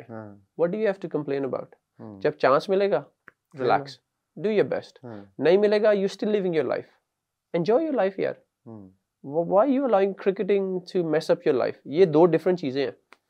सो ये है। समीन भाई so answer your question I think इनका नाम दिल का जानी तो नहीं बताया आपने? दिल का जानी है मेरा। ये तो आपने मुझे क्रिकेटिंग बता दी कि आपने कहाँ से सीखा इंस्पिरेशन मुझे मुझे वो चाहिए जो जो यार नहीं होता। वो वाला बंदा कौन है? अम, अगर कोई यार है मेरा क्रिकेटिंग में तो वो फिर क्रेगर अर्विन है। क्रिकेट अच्छा। क्योंकि हमारा डोमेस्टिक एक साथ स्टार्ट हुआ। हम्म, मेरा पासपोर्ट रेडी नहीं था उसका इंटरनेशनल स्टार्ट हुआ। हम एक ही घर में रुके। हम टीममेट्स थे डोमेस्टिक क्रिकेट से हम लोग टीममेट्स थे। और मुझे लगता है कि वो भी जिम्बाब्वे के लिए उतनी पेन लेता है उतना पैशन से खेलता है जितना मैं शेयर करते हैं आप आपस में अपनी एक दूसरे के साथ जो होती सैडनेस थॉट्स हैप्पीनेस वो उस तरह वाली मैं पूछ उसी तरह वाली। हाँ। युगांडा मैच के बाद वो भी रोया था। अच्छा भी लेकिन अपने रूम में। हाँ। फिर जब वो मेरे रूम में आया फिर हमारी बातें वी शेयर फ्यू थिंग्स इससे कितना हेल्प होती है अगर कोई ऐसा बंदा आपका टीममेट हो? बहुत हेल्प है। समीन भाई आपका इमोशनल कनेक्शन होना एक सेफ़ क्योंकि कभी कभी क्या होता है कि जब आप नेशनल क्रिकेट खेल रहे होते हैं हम्म, और परफॉर्म ना हो रहा हो तो कभी कभी ऐसा होता है कि कुछ परफॉर्म कर रहे हैं कुछ नहीं कर रहे थे तो आपको लगता है बस मैं गया। हम्म, तो वो जो एक शोल्डर होता है ना आपको एक हम्म। अश्योरिटी वाला वो अगर आपका टीम में नहीं है it is very very very hard एक इंटरनेशनल टीम में सर्वाइव करना क्योंकि इंटरनेशनल मैचेस का प्रेशर फ्रेंचाइज क्रिकेट से बहुत ज़्यादा होता है। ऑफ़ कोर्स लेकिन फ्रेंचाइज में कौन है यार? फ्रेंचाइज में कौन है? सो so, लाहौर का तो आपने बता दिया अब्दुल्ला। हाँ नहीं मुझे ओवरऑल चाहिए। जितनी भी आपने फ्रेंचाइजी से खेला लेकिन समीन भाई उसमें फिर एक एलिमेंट होना अब जैसे पाकिस्तान के लड़के हैं ये हमें कम नज़र आते हैं। हाँ। क्योंकि आपका एक तो इंटरनेशनल कैलेंडर काफ़ी बिज़ी हाँ। होता है फिर आपका अपना डोमेस्टिक मैचेस इतने ज़्यादा होते हैं कि वो आप छोड़ नहीं सकते। लेकिन मैं कंपेयर नहीं कर रहा। I am not trying to compare मैं फॉर एग्जांपल मुझे ये पता है भानु आपका बहुत अच्छा दोस्त है ठीक है? मुझे ये पता है छे होप आपका अच्छा दोस्त है मुझे पता है अब्दुल्ला आपका दोस्त है तलत आपका तो ये सारे आपके दोस्त। मैं कह रहा हूँ जैसे एक स्पेशल बॉन्ड होता है ना जिसके साथ यानी आपको पता लगे कि यार ये भी फ्रेंचाइज में तो आपको दिल ना एकदम खुश हो जाएगा यार मज़ा आ गया। फिर समीन भाई उसके लिए मैं भानुका का नाम लूँगा। भानुका राजापक्षा। राजा- because I been together for six different tournaments और अगर वो आ जाता अगर उसको एनओसी मिल जाए so this would have been our seventh tournament so he is my in franchise जब हम इकट्ठे होते हैं he is my safe place he is my safe zone मैं उससे कोई भी बात कर सकता हूँ वो मुझसे कोई भी बात कर सकता है। मैं उससे हर किस्म की कहाँ पे डेवलप हुई ये दोस्ती सबसे पहले? समीन भाई पहले तो हम इंटरनेशनल एक दूसरे के अगेंस्ट खेले तो हाँ, ह- हमारी वहाँ पे हो गई। फिर समीन भाई लीगें जब स्टार्ट हुई तो फिर वो ऐसी स्टार्ट हुई कि हम लोग वो राजा पक्सा से राजा पक्सा बन गया और मैं सिकंदर रजा से रजा पक्सा बन गया। तो समीन भाई एलपीएल में हम लोग इकट्ठे हाँ, वहाँ पे डिवेलप हुई सीपीएल में हम लोग इकट्ठे टी में हम लोग इकट्ठे आईपीएल में हम लोग इकट्ठे।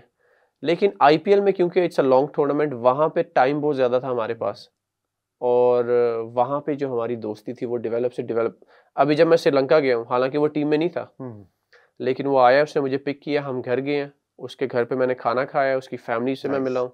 हम्म। तो this is how close we become that's wonderful Sameen भाई this is gonna be the first time जहाँ पे प्लेयर ओनर का मैनेजर का इंटरव्यू करेंगे। It hasn't been done before player हाँ सो आई एम हैप्पी कि आपने ये एक्सेप्ट भी किया and you have allowed us Sameen भाई मैं ये इंटरव्यू इसलिए करना चाहता हूँ एक तो ये कि personally I am a very inquisitive type guy कि मुझे सीखने का बहुत शौक है ऑल फील्ड्स के आपके पास नॉलेज होना चाहिए कल को आप कहीं बैठे हो तो किसी का नॉलेज किसी की हेल्प कर सकता है।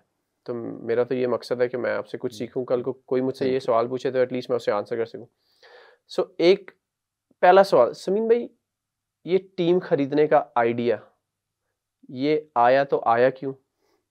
और अगर आया है तो what is your your personal किसी की बात नहीं करेंगे योर बिगेस्ट चैलेंज आइडिया तो मैंने पहले भी काफ़ी दफ़ा बताया और मैं ये नाम जो है कलंदर का आपको मैंने मेरे ख्याल में लास्ट ईयर जो टीम टॉक थी उसमें मैंने बताया था। कलंदर का नाम मेरी मदर के नाम पे रखा गया था। आ, उसकी वजह ये थी कि मैं घर में सबसे छोटा मेरे से बड़ा आतिफ है। तो आ, मुझे क्रिकेट का बहुत शौक है शुरू से था। एज ए फ़ैन बचपन में भी टेस्ट मैच पूरे पूरे बैठ के देखता था मैं। और खुद ही कमेंट्री करता रहता था कि और अपने दिमाग में ना प्लानिंग करता रहता था कि अगर ये बॉल इस तरह आएगी ना जब बॉल हो रहा होता था ना तो मैं बॉलर भी मैं होता था बैट्समैन भी मैं होता था। तो बॉलर जब बॉल करने लगता था तो मैं कहता था मैं ना इसको यॉर्कर मारूँगा। तो बॉलर ने अगर यॉर्कर मार दिया तो मैं कहता था बैट्समैन इसको ना डग आउट करेगा। तो इतना ज़्यादा क्रिकेट का वो एक शौक था देखने की आता कि उसको बहुत देखता भी था टेप बॉल से खेलता भी था लेकिन क्रिकेट इस तरह से थोड़ा सा आपको बता दूँगा क्रिकेट का मुझे जुनून था।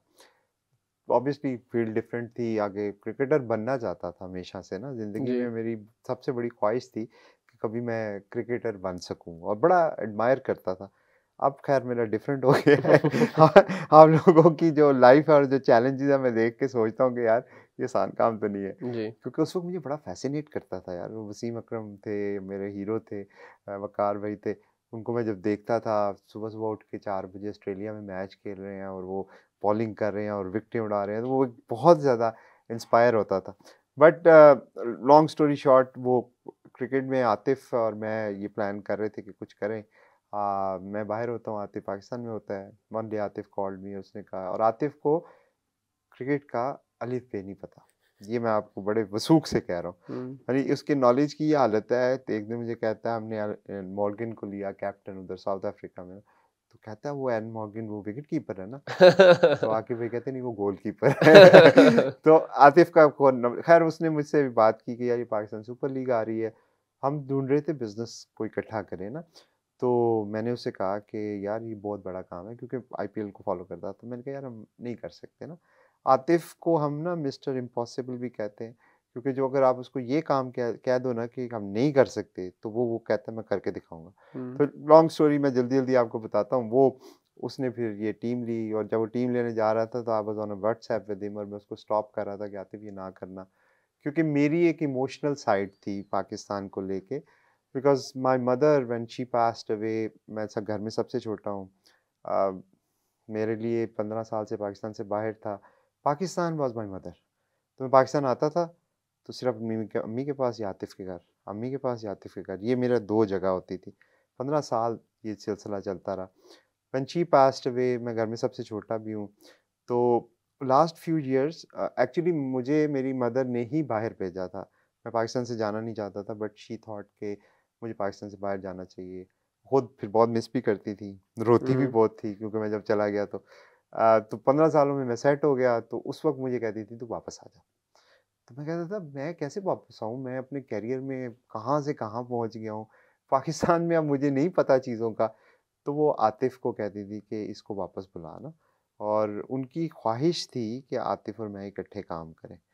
तो मैं उनको हमेशा ये कहता था कि आतिफ का नॉट अफोर्ड मी क्योंकि मैं बहुत ऊपर चला गया तो बस वो ख्वाहिश उनकी ये रही कि और बंची पास्ट वे तो मैंने आतिफ को कहा कि यार अब अम्मी भी नहीं रही तो यार छोड़ पाकिस्तान तू नॉर्थ अमेरिका आ जाना।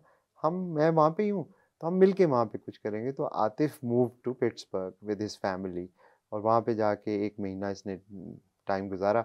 और मुझे याद है जब भी मैं सुबह ऑफ़िस जा रहा होता था आतिफ के साथ कॉल पे होता था लंच ब्रेक में आतिफ के साथ कॉल पे वापस आते इसके साथ कॉल पे और इन बिटवीन भी उसे। तो आतिफ का थोड़ा सा मैं आपको बताऊँ वो इज़ अ पीपल्स पर्सन।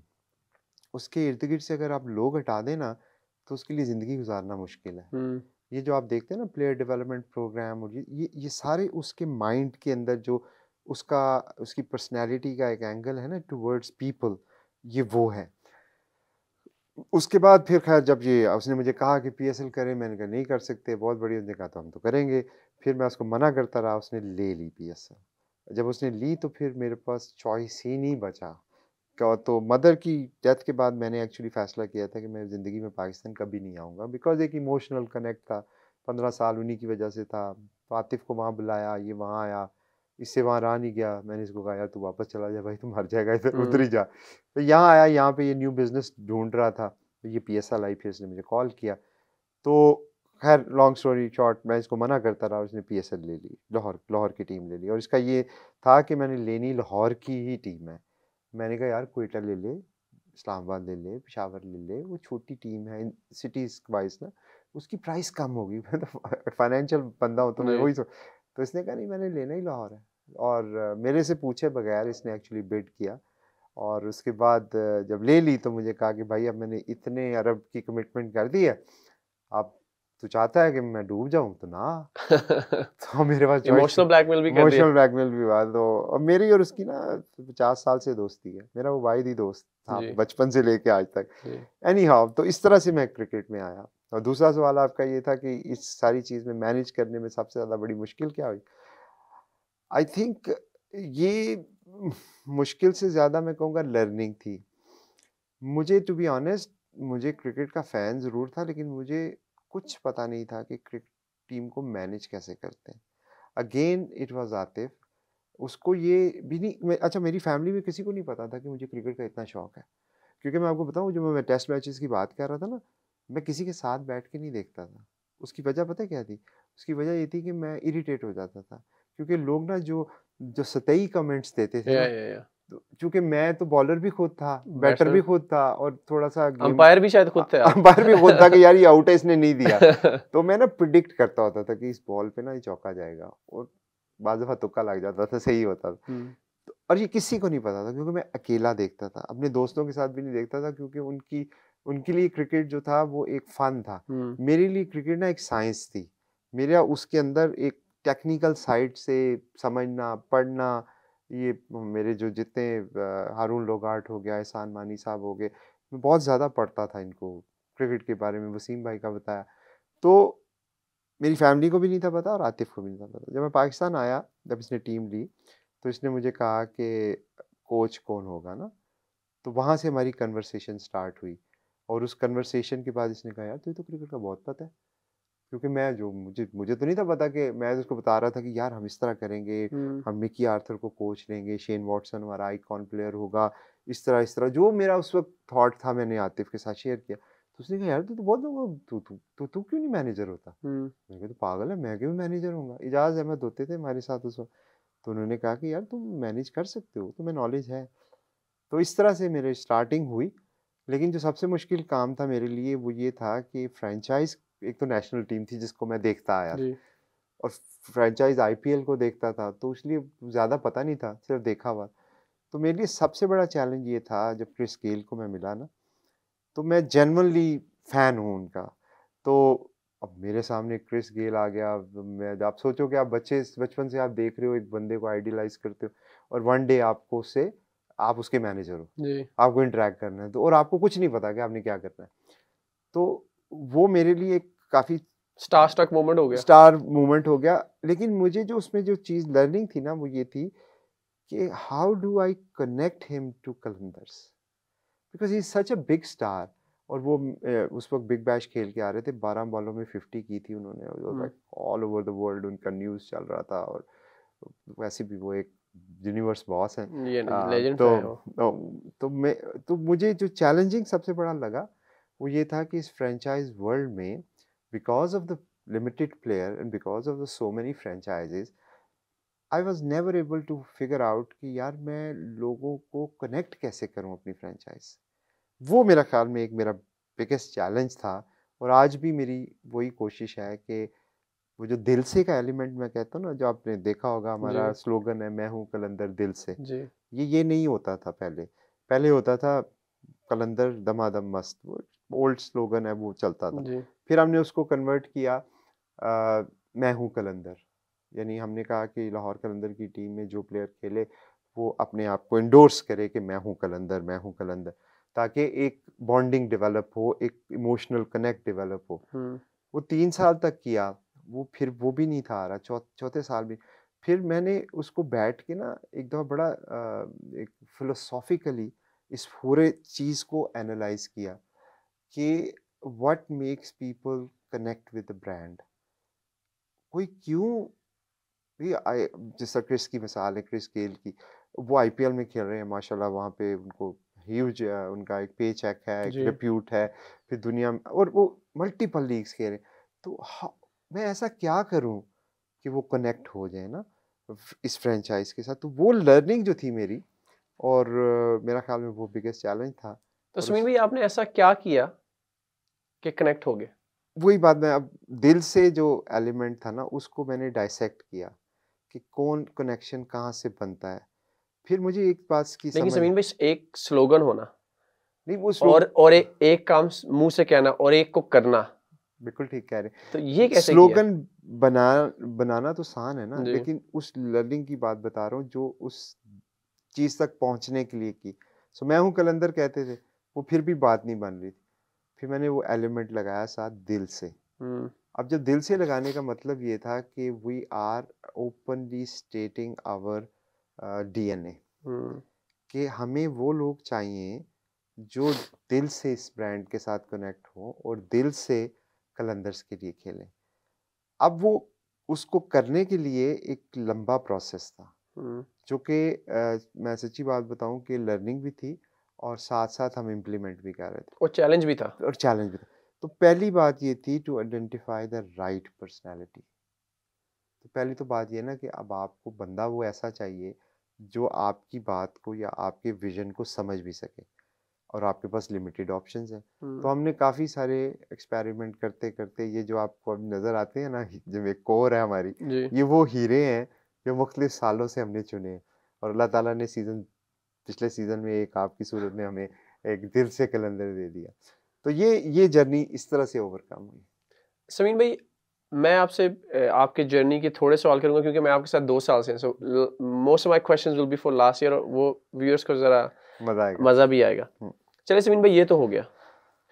आपके लिए समीन भाई आप ऑफ़ कोर्स एज प्लेयर जैसे आप हमारा ख्याल करते हैं your mental health is as valuable as my mental health जो सीधी बात है। आपने बहुत ज़्यादा लॉसेस भी देखे क्रिटिसिज्म भी देखा from fans and from media Sameen भाई, उस टाइम आपकी मेंटल हेल्थ क्या थी? क्या आप तब भी यानी कि स्ट्रांग थे कि कि मैं ट्रैक ठीक है, सिर्फ़ रिज़ल्ट लेट आएगा कि उस टाइम आपको वो बातें, वो चीज़ें हर्ट करती थी? If I been very honest yes hurt करती थी। अगर मैं ये कहूँ कि नहीं नहीं, मैं तो नहीं था, ऐसी बात नहीं थी। मुझे there was many sleepless nights जहाँ पे मैं, टूर्नामेंट तो ख़त्म हो जाता था, आतिफ और आके पाकिस्तान में लोगों से तो मिलते थे। मैं चला जाता था कनाडा और यकीन माने मैं रातों को सोचता रहता था कि मैंने क्या गलत किया? मैं क्यों क्यों नहीं हम जीत रहे? फिर उसको डाइसेक्ट करता था उससे सोचता था कि यार ये प्लेयर मैंने ठीक नहीं लिया, मैंने ड्राफ्ट में गलती की है, मेरी मैनेजमेंट गलत है, इस नंबर पे इसको नहीं भेजना था, ये ओवर इससे नहीं करवाना था। ये कैप्टन ने गलत किया है मैंने गलत किया कोच ने गलत किया वो onus because Atif doesn't know cricket but he trust me two hundred percent it becomes a lot of you know emotional and mental stress but उसमें कुछ लोगों ने मेरी बहुत हेल्प की।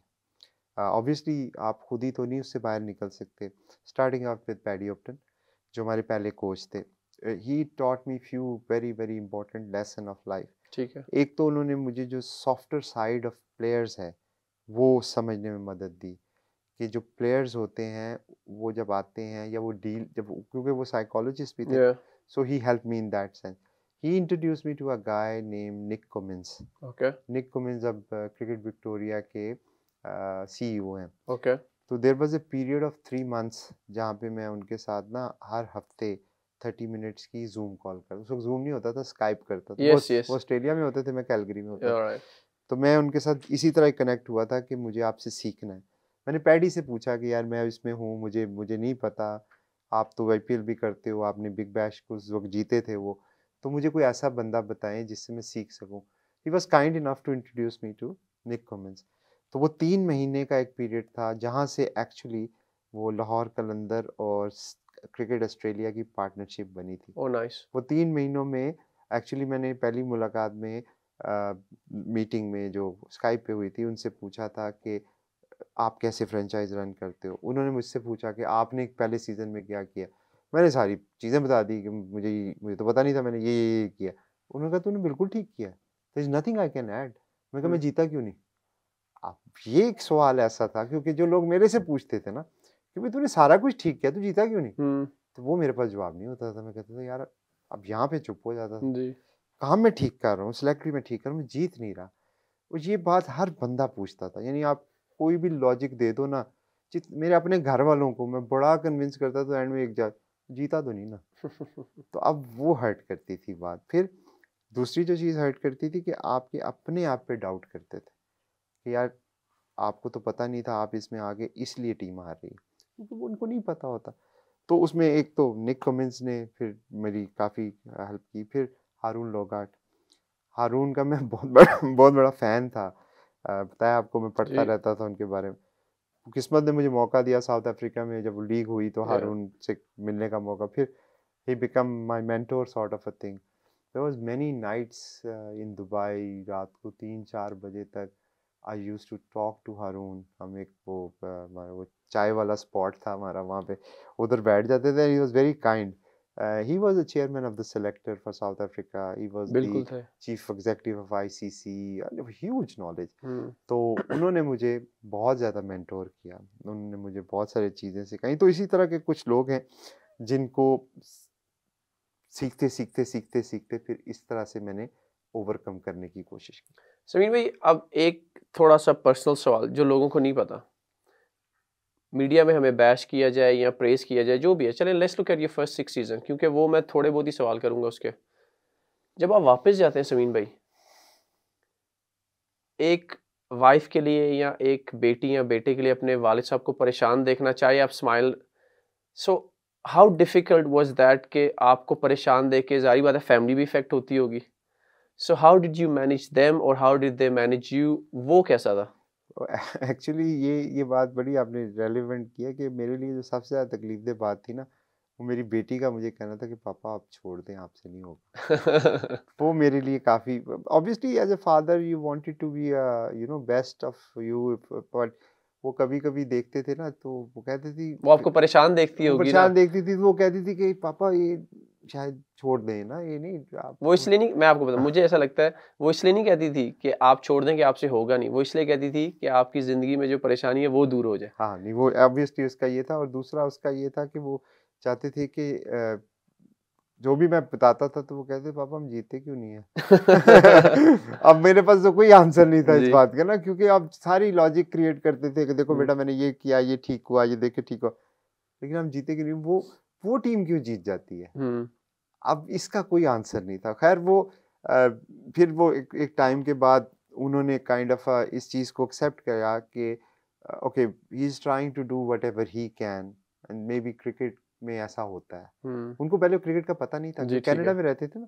So they have no idea about cricket ठीक है। तो जब उन्होंने पहली दफ़ा क्रिकेट में आई तो वो वो सीज़न था जिसमें केपी ने हमें कि पोलार्ड ने हमें वो quarter final sort of a thing थी।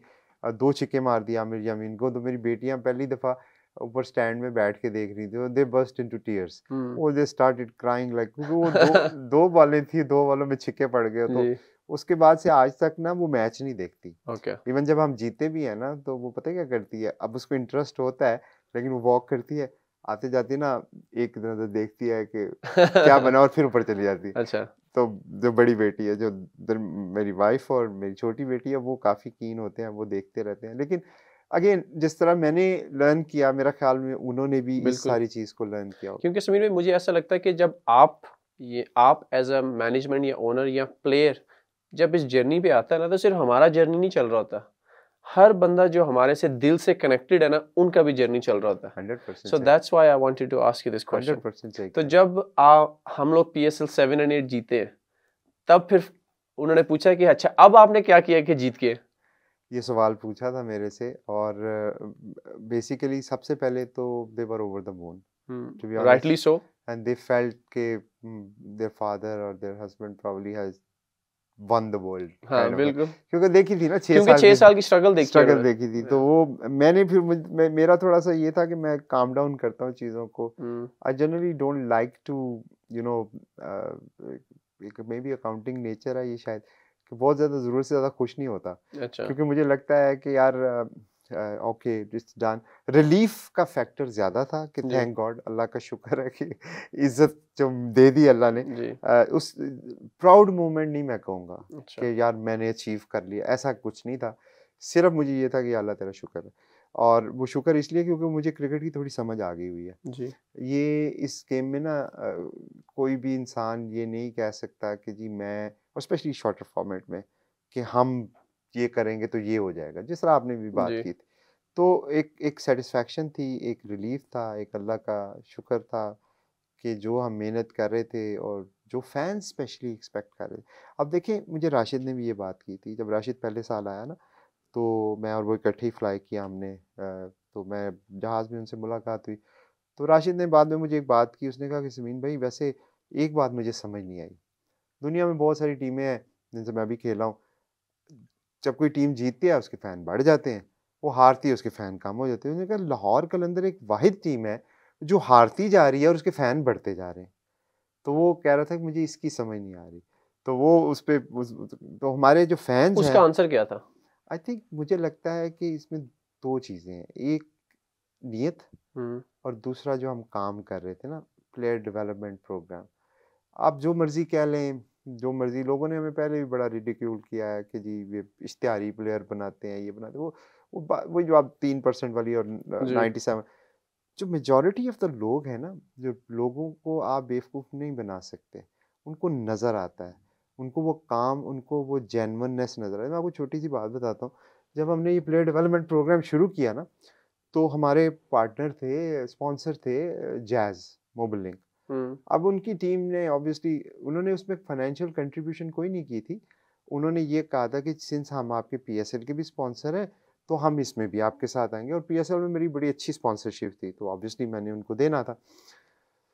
अब उनकी जो टीम थी, उसने उसका बिज़नेस एंगल ढूंढा। उन्होंने कहा, जो रजिस्ट्रेशन होगी ना, वो सिम हमारी कोई खरीदेगा तो उस पर रजिस्ट्रेशन होगी, जिसके मैं पर्सनली खिलाफ था। बट ऑब्वियसली स्पॉन्सर की बात आप प्रोजेक्ट नहीं कर सकते। तो मैंने उनसे कहा कि ये काउंटर प्रोडक्टिव होगा बट देवर कि नहीं हमने करना है। पचास रुपए की मेरा ख्याल में सिम थी क्या तीस रुपए की सिम थी। और वो फिर जब हमने शुरू की वो कैंपेन तो उसके बाद कुछ अरसे बाद बंद कर दिया सिम वाला काम क्योंकि समझ आ गई कि यह गलत है। तो उस वक्त लोगों ने कहा कि ये तो पैसा बनाने का तरीका है इनका। हालाँकि बीस रुपये या तीस रुपये की हज़ार सिमें बेच के तो आपकी तो वो एक इवेंट तो छोड़ें एक वर्दी की कॉस्ट नहीं निकलती। जी। तो जो हम वो काम कर रहे थे ना, मेरा ख्याल में उसको लोगों को नज़र आया। एक तो वो बात थी। फिर उस काम के नतीजे में जो हमारा टेस्ट हो रही थी रिजॉल्व, क्योंकि देखें आप मेहनत करें सारा साल पीएसएल में जा रहे हैं लास्ट पे, फिर बैशिंग हो रही है, आप फिर जाते हैं, फिर मेहनत करते हैं। और उस वक्त आपको जो प्लेयर्स मिल रहे हैं, वो कोई ऐसे सहारे स्रोफ नहीं है। लेकिन आप करी जा रहे हैं, आप प्रोसेस करी जा रहे हैं, करी वो जो जेनवननेस थी ना शायद, वो जो नीयत थी और जो मेहनत थी आई थिंक वो फैंस को नज़र आती थी। और इसलिए वो उस ब्रांड के साथ मोहब्बत करते थे कि शायद ये लोग वो काम करने की कोशिश कर रहे हैं जिससे हमारा फ़ायदा हो। हम उनको एक उम्मीद दे रहे थे, जो हारिस रऊफ़ की सूरत में फिर अल्लाह ने हमें सिला दिया है। एक्चुअली मैं तो हमेशा इस बात पे बिलीव करता हूँ कि हारिस रऊफ़ जो है ना, वो क्योंकि शाहीन भी आए इस, इधर से ही, लेकिन फिर वो डिबेट शुरू हो गई कि ये डोमेस्टिक खेले हुए हैं ये तो फलाना बैंक के हैं ये तो फलाने डिपार्टमेंट के। उसका जवाब अल्लाह ताला ने हारिस की शक्ल में हमें दिया जिसने क्रिकेट ही नहीं कभी खेली। जी। उन जनाओ तो क्रिकेट ही नहीं कभी खेली अब क्या करोगे? तो वो इसलिए वो बड़ा हमारे लिए एक डियर भी है इम्पोर्टेंट भी है हमारी फैमिली का बच्चा भी है सब कुछ है हमारे लिए। और उसकी सूरत में लाखों लोगों को उम्मीद मिली जी। कि अगर ये बच्चा जिसने कभी हार्ड बॉल से नहीं खेला था ये ऊपर राइज कर सकता है तो मैं क्यों आप बिलीव नहीं और फिर माशाल्लाह टीम ऑफ़ द ईयर में उसका नाम था लास्ट ईयर। नहीं मैं आपको मैं तो आपको प्रैक्टिकल एग्जांपल बताता हूँ जब डैरन गॉफ आए हमने ट्रायल्स किए मैंने उसके बाद ना इंटरव्यूज़ लिए लोगों के, क्योंकि बहुत ज़्यादा लोग थे हम शॉर्ट लिस्ट नहीं कर पा रहे थे टैलेंट सब में था। तो मैंने कहा यार मैं बिहेवियर इंटरव्यू लेता हूँ ताकि मैं कुछ ऐसे लोगों को निकाल सकूँ who are not having that kind of a mind set आप यकीन मानो सेवेंटी परसेंट बच्चों का आइडियल जो था ना रऊफ था I was surprise actually I was thinking कि शाहीन होगा because Shaheen was obviously international भी खेल चुका था। इंटरनेशनल भी खेल चुका था और परफॉर्म भी बहुत अच्छा कर। रहा लेकिन सेवेंटी परसेंट का आइडल वो मैं मुझसे पूछता था आप क्या बनना चाहते हो हारिस रूफ उस वो उम्मीद जो है ना सिकंदर वो जो वो जो आप किसी को होप दे रहे हो यार वो उसका कोई रिप्लेसमेंट नहीं। सो so, समीन भाई जैसे हम कहते हैं कि आपको लगता है कि आपका ये भी हो गया कि अलहमदिल्ला दिल से कलंदर प्लेयरों को बनाते बनाते बनाते हम तो शायद बने नहीं लेकिन माशाल्लाह हमारे फैंस बन गए। आप सबसे पहले बने। ये मैं आपको बताऊँ मैं खुशकिस्मत हूँ कसम से ये अल्लाह की ब्लेसिंग है। और वो जो नीयत है ना उसका फल है। मैंने जब राशिद खान आया था ना तो मैंने उसको ये कहा था कि अल्लाह ताला ने मैं इनाम दिया है ये वाला ना। और आपकी सूरत में शहीन की सूरत में हारिस की सूरत में डेविड की सूरत में फ़खर की सूरत में अब्दुल्ला की सूरत में ये जो हमारी कोर है जिसमें ज़मान भी है ये सारे लोग जो हैं ये एक एक हमारा जो हार्डवर्क था वो तो ग्राउंड पे था लेकिन ऐसे अच्छे लोग मिलना ये खुशकिस्मती थी हमारी। और फैंस के साथ फ़ैन तो मैं समझता हूँ कि पहले दिन से इस ब्रांड के साथ जुड़े और उन्होंने हमारे कामों को सपोर्ट किया। बावजूद के एक प्रोपेगेंडा भी हुआ नेगेटिविटी भी फैलाई गई लेकिन आज भी आप देखें तो लाहौर के अंदर के जितने मैचेस हैं ये आपने नोटिस किया होगा वो माशाल्लाह अल्हम्दुलिल्लाह सोल्ड आउट क्यों जाते हैं? ये सो ये सोचने वाली बात है कि आप अब ये दूसरा सीज़न है आपका आपने देखा है कि जिस भी ग्राउंड में आप गए हैं वहाँ पे क्या आपको सपोर्ट मिली है एज ए कलंदर? मिलिए यही यही हमारा इनाम है यही हमारा फल है और आई थिंक इसके पीछे जो रीज़न है वो ये है कि नीयत आपकी ठीक थी। काम गलत किए होंगे हमने हमने गलतियाँ भी हमारे से बहुत सारी हुई नहीं पता था चीज़ों का। आ, गलती की डिसीज़न भी गलत हुए लेकिन नीयत ठीक थी का मकसद ठीक था। हमारी कोशिश थी कि हम किसी तरह पाकिस्तान की क्रिकेट में कंट्रीब्यूट कर सकें और कंट्रीब्यूट इस तरह कर सकें कि ऑब्वियसली हम प्लेयर्स ही को मौके दे सकते हैं। लोग कहते हैं कि जी ये डोमेस्टिक खेला था देखिए डोमेस्टिक तो बहुत सारे लड़के खेलते हैं। सोलह साल के बच्चे को आ, मैं आपको बेताशा मिसालें दे सकता हूँ जिन्होंने सोलह साल या बारह साल या अठारह साल का बच्चा आया एक मैच खिलाया साइड पे कर दिया। लाहौर के अंदर का क्रेडिट मैं ये नहीं कहता कि मैंने पैदा तो उसको उसके माँ बाप ने किया लेकिन हमने जो किया हमने भरोसा किया। वो भरोसे ने इन लोगों को मौका फराहम किया। अब शहीन की मैं अगर बात करूँ जो माशाल्लाह हमारे कैप्टन है, ये 16-17 साल के होंगे जब ये आए थे मेरे पास। और मेरे साथ उनका थोड़ा सा स्पेशल बॉन्ड इस तरह से भी बन गया कि मेरी बेटी की भी उम्र ऑलमोस्ट इतनी ही है। तो जब ये आया तो मुझे ये होता था कि यार अगर मेरी बेटी कभी किसी तरह इसी किसी इन्वायरमेंट में जाए और जहाँ पे बड़े बड़े नाम हों ब्रेंडन मैकलम जैसे यू नो लेजेंड्स हों तो वो तो बेचारे लॉस हो जाएगी उसमें उसको तो तो, तो देख के परेशान हो जाएगी। तो मुझे ना शहीन का हमेशा से स्पेशल उस दिन से स्पेशल रहा है ये मेरे लिए। तो मुझे ये होता था कि ये कि गुम ना जाए ना उतनी बड़ी बड़ी चीज़ें माशाल्लाह वहाँ पे हम लोगों ने अरेंजमेंट भी बहुत ज़बरदस्त टॉप नॉच होते थे। प्रेसिडेंशियल स्वीट लिया ये दुबई वाला पीएसएल हाँ दुबई वाला। हाँ। प्रेसिडेंशियल स्वीट था जहाँ पे टीम रूम बनाया गया था। हम्म। और उसमें pool table snooker table top of the line सब कुछ था। बड़े बड़े पोस्टर्स लगे हुए थे। तो मुझे याद है मैं शहीन को फोकस कर रहा था। मैंने कहा यार मेरी जितनी भी टीम है उसमें ये बच्चा जो है बेचारा छोटा है और पहली दफ़ा ये इस तरह किसी में आया है तो इसका इसके घबरा ना जाए या इसका दिल कहीं छोटा ना हो जाए कि यार हम्म, उस किसी ने तो वहाँ से उसके साथ एक ताल्लुक बनना शुरू हुआ। माशाल्लाह हमारा कैप्टन है माशाल्लाह। समीन भाई शहीन पे तो मैं बाद में आता हूँ। पहले आता हूँ पीडीपी पे। हम्म, रिसेंटली आपने किसी मुल्क के साथ दस साल का मुआहदा भी किया? आपके मुल्क ऑन रिकॉर्ड में बताता हूँ कि माशाल्लाह पीडीपी लाहौर ने जिम्बावे के साथ 10 साल का प्लेयर डेवलपमेंट का मुआहदा किया तो समीन भाई मेरी तरफ़ से तो नहीं मैं तो बहुत बाद में आता हूँ। पूरे जिम्बावे की तरफ़ से। हम सबसे पहले आपका और लाहौर का और पाकिस्तान का थैंक यू कहते हैं कि आपने हमें एक सेफ़ प्लेस प्रोवाइड किया जिसमें हमारा जो फ्यूचर टैलेंट है जो आप पाकिस्तान को देना चाह रहे हैं वो अब हमारे जो फ्यूचर के जिम्बाब्वेन क्रिकेटर हैं, जिनकी हमें बहुत ज़्यादा ज़रूरत है, उनको भी माशाल्लाह आप लोगों ने ग्रूम करना है। और सेकंड थैंक यू है कि आपने एग्री किया कि आपके पाँच लड़के पीडीबी के जिम्बावे में खेल रहे हैं अभी। और माशाल्लाह वो सारे लीडिंग विकेट टेकर्स जो इस टाइम हैं, वो छः में से पाँच हमारे पीडीपी के लड़के हैं। समीन भाई, आपको लगता है फैंस के कनेक्ट होने की एक वजह ये भी है, आपने तो होप का। लेकिन समीन भाई alone hope is enough in my opinion बहुत से लोगों को आपकी वजह से एक रिस्क हलाल मिलने की अपॉर्चुनिटी आई, एक क्रिकेट खेलने की अपॉर्चुनिटी आई मोस्ट इम्पॉर्टेंटली एक हैप्पीनेस मिली, क्योंकि क्रिकेट इधर सबकी हैप्पीनेस ही है।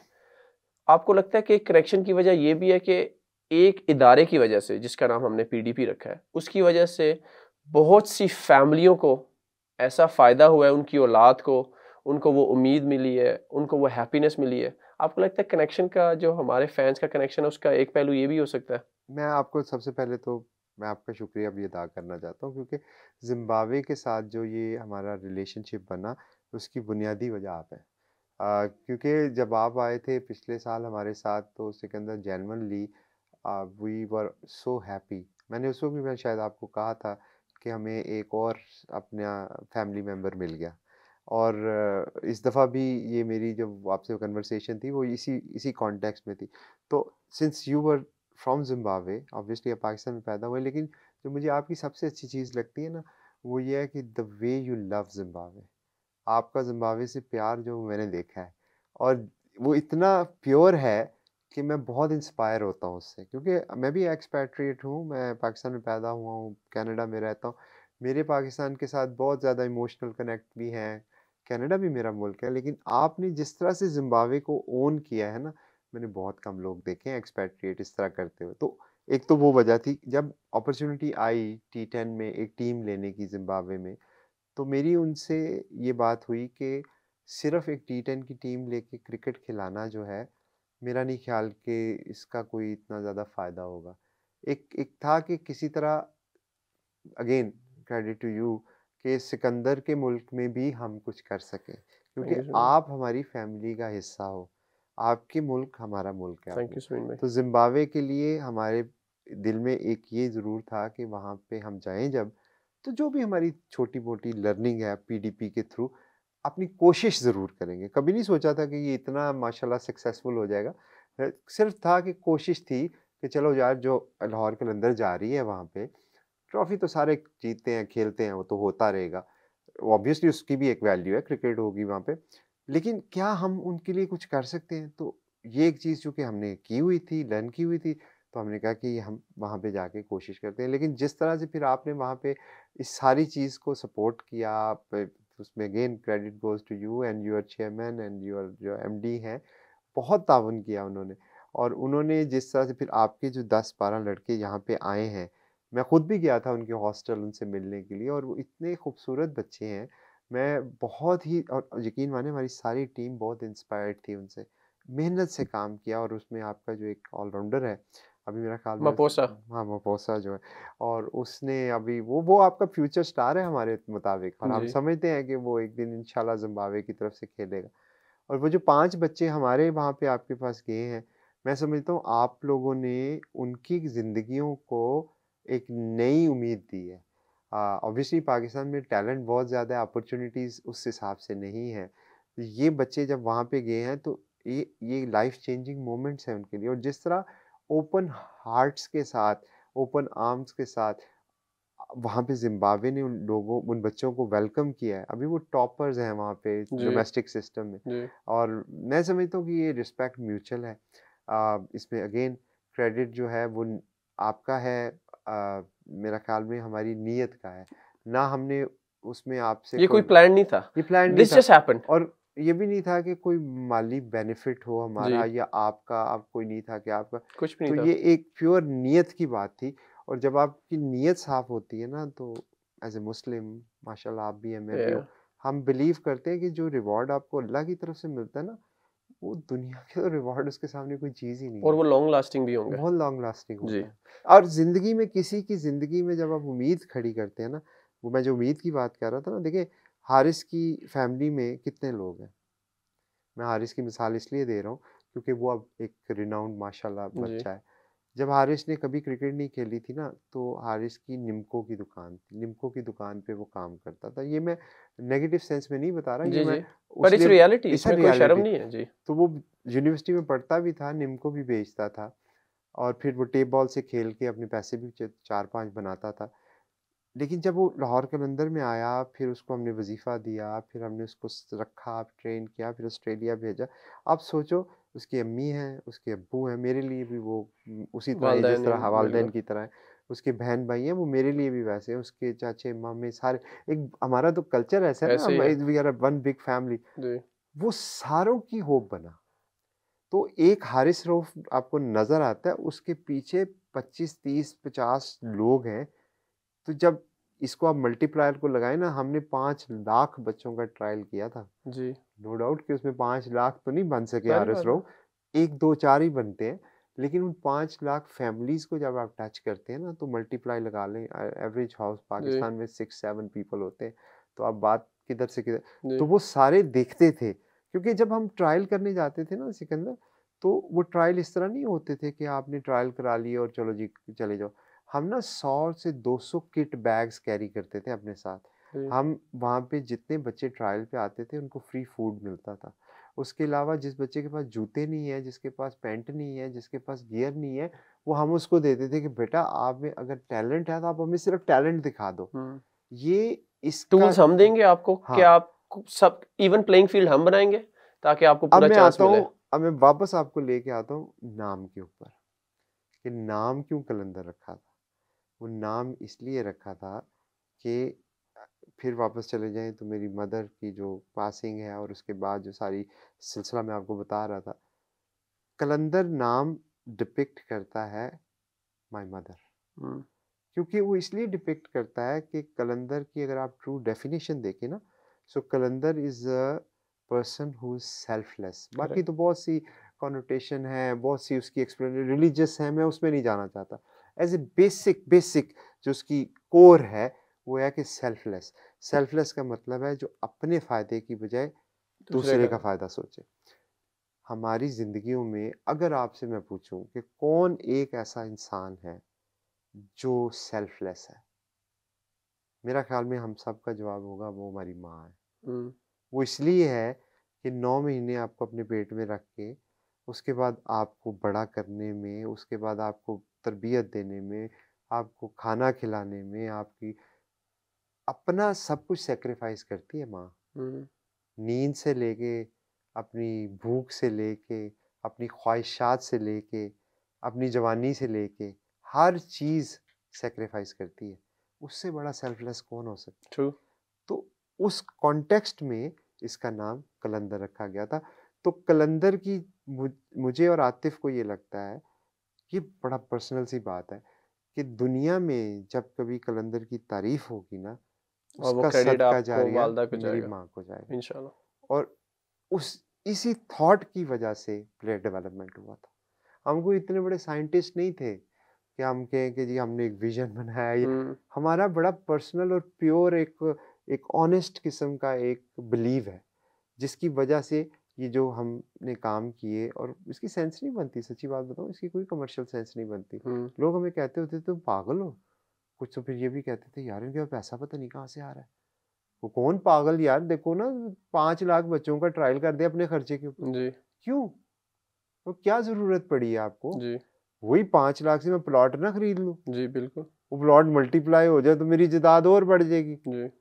लेकिन देखें वो उसमें नीयत की बात आ जाती है कि कलंदर की जब दुआ कलंदर को मिलती है ना वो मेरी माँ को जाती है। जी ठीक। है तो ये उसका एक थोड़ा सा पर्सनल सा एंगल चले। समीर भाई अब आते हैं हम लोग अपने last two years this year and that year अब इसमें ना पहली बात तो ये कि मैं जैसे कि मैंने आपको कहा कि मैं हमेशा कोशिश करता हूँ कि उन क्वेश्चंस को ना पूछा जाए ना आंसर किया जाए जिसमें कंपैरिजन आ जाता है। आई डोंट लाइक इट क्योंकि किसी की बुराई हो या दिल आजारी हो मकसद है नहीं बिकॉज़ वी आर कलंदर्स हाँ। सो हम लोग पूछेंगे कुछ सवाल। समीर भाई आपका टीम में लाडला कौन है? मैं ये नहीं पूछूँगा कि आपको सबसे मुश्किल कौन लगता है क्योंकि उसमें लाडला मैं पॉजिटिव क्वेश्चन आपका ख्याल है आपका ख्याल है मैं आंसर करूँगा इस बात का। अब हाँ मेरा ख्याल आपको करना चाहिए। मेरे लाडले हैं। है नहीं है? हैं। आपने भी मुझसे पूछा था आपका यार कौन है? मैंने भी नाम लिए। आपने। हाँ तो मैं आपके क्वेश्चन सिर्फ़ आंसर नहीं कर रहा था मैं उसको अच्छा, रजिस्टर भी लेकिन कर फैमिली में जो छोटा होता है ना वो लाडला हाँ ठीक है तो सबसे छोटा कौन है फैमिली में? जब मैंने जब सारा कलंदर फैमिली बनानी शुरू की थी तो वो शाहीन था। शाहीन सो शाहीन लाडला हारिस रऊफ ऑन रिकॉर्ड है ये। एनीवेज अच्छा सबसे ज़्यादा वो अब हारिस आपसे पूछेगा मेरा लेना देना नहीं है मैं तो इंटरव्यू देके जा मुझे रहा हूँ। खुद कहता है। हाँ। वो हारिस मुझे कहता है आप अपने लाडले से पूछ लें। और शाहीन आपको कहता है कि आप अपने उस लाडले से लाडले से पूछ तो ये तो मेरे सामने है। allegation लगता हाँ रहता है। लेकिन चले आपने अच्छा किया आज क्लियर कर दिया। सबसे शरारती कौन है? हमारी इस कलंदर्स फैमिली में आप अच्छा। अच्छा हैरी नहीं है? अच्छा। हैरी भी है लेकिन आपकी जो शरारतें हैं ना वो आपकी जो एनर्जी है ना सिकंदर वो अनमैच्ड है। सीरियसली यू ब्रिंग आप नहीं थे ना ये पिछला दो दफ़ा मैच ये जो पिछले मैच था अल्लाह की कसम हम मैं और आकिब भाई आपस में बात पहला मैच जो था। पहला मैच जी। हम कह रहे थे यार हमारी रौनक ही नहीं आई। और बिल्कुल ऐसे लग रहा था कि हम बड़े वो ना बोरिंग हो गए हैं यार। अच्छा। तो जैसे ही आप आए हो तो एकदम ऐसे एनर्जी नहीं फूटती जैसे वो चीज़ चल रही है और उस वक्त से माशाल्लाह देखें आप गिने तो मैं कहूँगा कि आप मैं शरारती हूँ अच्छा। um, समीन भाई प्लेयरों को लेके ऑफ़ कोर्स हारिस का तो ऑन रिकॉर्ड है कि उसकी development is the most satisfying मेरे लिए भी आई होप लोगों के लिए भी क्योंकि उसने पाकिस्तान को बड़ा अच्छा सर्व कर रहा है और करता रहेगा इंशाल्लाह। तो हारिस को अभी हम साइड पे करते हैं because he is become the epitome. उसके अलावा कोई ऐसा प्लेयर जो आपकी नज़र में गुजरा आपने कहा यार मुझे इसकी डेवलपमेंट देख के भी बड़ा मज़ा आया बड़ा खुश हूँ। चाहे वो हमारे से खेले ना खेले पाकिस्तान खेल रहा है नहीं खेल रहा किसी दूसरी franchise doesn't matter Salman Irshad. Salman Irshad. Salman Irshad. Haris और सलमान इकट्ठे थे ऑस्ट्रेलिया में। अच्छा। सलमान ने लाहौर कलंदर से पहले डेब्यू किया। जी जी। हारिस ने बाद में किया। हम्म, और सलमान के साथ भी बहुत क्लोज बॉन्ड है वो भी हमारे लिए बहुत प्यारा है बहुत लाडला है। बट ऑब्वियसली एक लिमिटेड टाइम तक हम प्लेयर रख सकते हैं course, of course. Obviously team भी है। तो मुझे सलमान की बहुत खुशी होती है। अभी भी मैं आज भी उसको देख रहा था आज मैच था। तो मैं देख रहा था जिस तरह से उस बच्चे ने आखिरी ओवर किया है छः में से पाँच यार्कर मारे। मुझे याद आ गया वो टाइम जब मैं हर वक्त उसको ये कहता था कि सलमान सिर्फ़ यार्कर मारा करो। और उस वक्त ऑब्वियसली वो लर्न कर रहा था। हमारी तरफ़ से खेला भी है। तो सलमान मेरे जहन में इमीडिएटली नाम आता। ठीक है। um, कोई ऐसा प्लेयर जिसकी डेवलपमेंट पे आपको काफ़ी होप है। पहले वो बताएँ होप है कि आपको लगता है हाँ यार ये भी हमारा एक डेवलपमेंट का एक ऐसा बच्चा जा रहा है कि मुझे होप है कि ये भी आगे फ्यूचर में पाकिस्तान या कलंदर्स को अच्छा सर्व करेगा। दो तीन है। हाँ बताएँ। एक तो ऑब्वियसली ताहिर बेग है। Yes I vouch for that हाँ ताहिर बेग मुझे और आकिब भाई को ये लगता है बाकी हमारी कोचिंग टीम को लगता है ही स्पेशल पिछले साल उन्होंने शो भी किया। अनफॉर्चुनेटली इस दफ़ा इंजरी की वजह से उनको चांस नहीं ज़्यादा मिल सके। बट लेकिन मैं ये ज़रूर ऑन रिकॉर्ड कहना चाहूँगा कि ताहिर बेग बेशक इंजर्ड है। हाँ। वो अभी भी हमारे साथ है। हमारे साथ। उसका रीहैब हमारे साथ चल रहा है। अगर कोई ये समझता है कि हम लोगों ने पिक ज़ाया कर दिया है तो हम लोगों ने कोई पिक ज़ाया नहीं की। वो एक टांग पे भी होगा तब भी वो इंशाल्लाह हम उसे पिक करते हैं और उसका रीहैब हमारे साथ चल रहा है। अब तो मेरा ख्याल है वो काफ़ी क्लोज भी है। हाँ वो नहीं वो इंशाल्लाह रिकवर कर गया और अभी आज ही मुझे हितन ने कहा है कि इज़ रेडी टू प्ले चलो दैट्स तो that's a wonderful news for so Tahir Baig है तैयब अब्बास मलिंगा जिसको हाँ। हम कहते हैं यूनिक है बहुत। जी बिल्कुल आ, है। फिर भट्टी है। जी। भट्टी के बारे में अभी ऑब्वियसली थोड़ा सा पहले पहले टूर्नामेंट में आपको पता है इतनी बड़ी स्टेज पे मौका मिलता है तो बहुत सारे प्रेशर होते हैं बट हम्म। हमारा कॉन्फिडेंस उसके ऊपर है। फिर सलमान है। सलमान ने बहुत अच्छी बॉलिंग की है बट ऑब्वियसली पहला टूर्नामेंट है फेरिदून को भी तक चांस नहीं मिल सका। तो जितने भी ये बच्चे आप अभी देख रहे हैं हमारे साथ मैं समझता हूँ ये सारे स्पेशल हैं। समीर भाई I am gonna bring you back अगर आप किसी का नाम नहीं लेंगे तो हमें बुरा नहीं लगेगा ना उनको लगेगा। तो ये लिस्ट अपनी छोटी करें।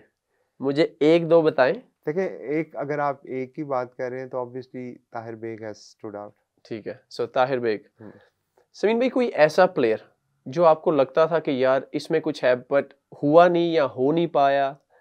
बड़ी दुखी बात है हाँ क्योंकि क्योंकि आप मैं इसलिए आपसे पूछ रहा हूँ समीन भाई ले जैसे आपने मुझ पे इतना इन्वेस्ट किया। कल को मैं कुछ ऐसा करता हूँ या कहता हूँ। आप कहोगे यार मुझे इस बच्चे से ये उम्मीद नहीं थी चलो उसने लाइफ में डिसीज़न ले लिया चलो कोई बात इसके ये मैं इसको इस तरह कर लेता हूँ कहने करने के तो बहुत सारे हैं जिनसे हुआ। अ, वो मैं नहीं कहता लेकिन जिस बच्चे का मुझे था कि he could have been the best bowler in Pakistan मैं और आकिब भाई इस बात पे बहुत कन्विंस थे। अनफॉर्चुनेटली uh, वो अपने पोटेंशियल को उस तरह से यूज़ नहीं कर सके। वो थे दिलबर हुसैन लाडी। Okay okay, Ladi. दिलबर को अ, जो आपने भी शायद पता नहीं उसको लास्ट ईयर था ना हमारे साथ हाँ, माशाल्लाह। खेला ना आपने। और उसकी जो कैरेक्टरिस्टिक्स थे ना बॉलिंग के हारिस को स्लोअर वन उसने सिखाया। अच्छा माशाल्लाह। जो हारिस की अब वेपन है स्लोअर वन हम्म। वो उसने सिखाया। उसकी पहली विकेट एबी डिविलियर्स की है। अच्छा। जब दिलबर ने कहीं नहीं खेला था ना तो उसको बिग बैश खिलाया था। पहले मैच में he went for run but the first wicket he got for the he has such a special skill like हम उनको कहते थे राइट आर्म वसीम अकरम जैसा वसीम भाई चार छः कदमों से भाग के शोल्डर से बॉल करते थे ना हम्म। और बहुत वो विप जो है और बहुत डिसेप्टिव थे। जब वो खेले हैं शेन वॉटसन वगैरह रॉन्की ने तो बल्कि हमें आके कहा भी था कि यार ये what a bowler he is hmm. Babar Babar Azam ने भी ये कहा था कि यार इसकी तो समझ नहीं आती मुझे। हम्म। आ, मुझे लगता है कि उसका जो पोटेंशियल था वो ट्रू पोटेंशियल नहीं हिट कर सका बट अनफॉर्चुनेटली हो जाता है uh, Sa- Samin bhai, all over the world. Yeah. Sameen भाई अब आते हैं हमारी टीम के फेवरेट कैरेक्टर की तरफ़। जमान की तरफ़। क्योंकि हमारी टीम की जो एक जान है वो जमान भी है। जमान की फाइंड उस उसको पीडीपी में या उसको आप लोगों ने फिर ढूंढा कहाँ से ढूंढा कैसे ढूंढा फिर उसे लेके आए। चैलेंजेस गुड थिंग्स ये वो जमान के बारे में मुझे थोड़ा बताएँ। हमारे पास सबसे पहले आए थे एक एक ऑर्गेनाइजेशन थी वो इनको लेके आए थे प्ले डेवलपमेंट प्रोग्राम में।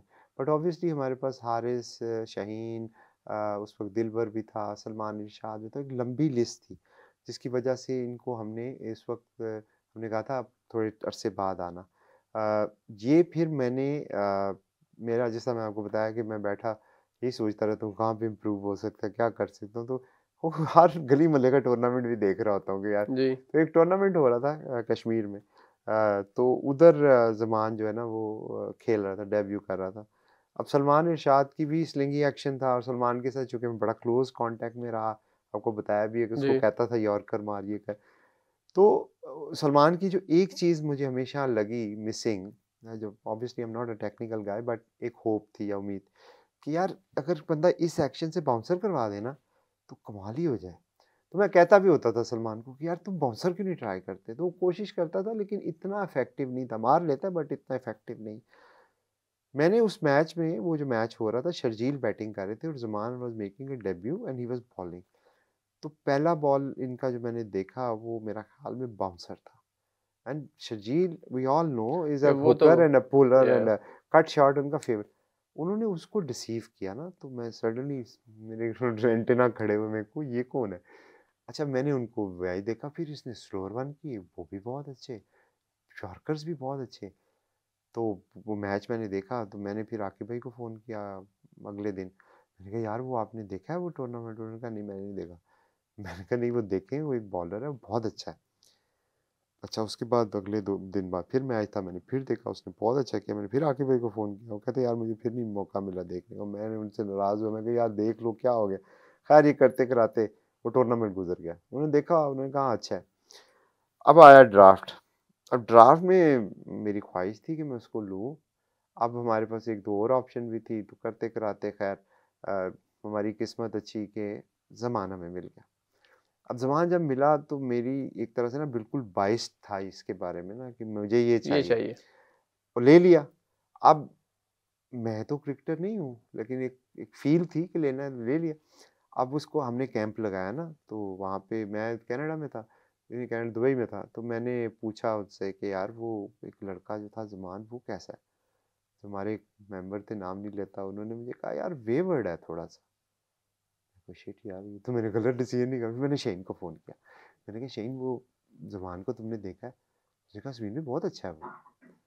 तो फिर मेरा दिल बड़ा हो गया। कहा तो इस तरह जमान फिर आया था अच्छा। अब समीन भाई ऐसा भी नहीं हो सकता कि रैप अप की बारी आए तो मेरे यार का ज़िक्र ना हो। टेल मी एबीडी की स्टोरी ये कहाँ से आया? क्यों आप लोग? क्योंकि सारे से कहते थे कि इतना टेक्निकली गिफ्टेड और करेक्ट है कि ये सिर्फ़ बड़े फॉर्मेट का है। ये स्टोरी जो है ना ये ये कंट्रोवर्शियल ना हो जाए। तो आप ऐसा करें कंट्रोवर्शियल जो पार्ट है उसको निकाल के जो अच्छा एबी का भी या चले ये बताएँ इस पे आपकी फेथ क्यों आई?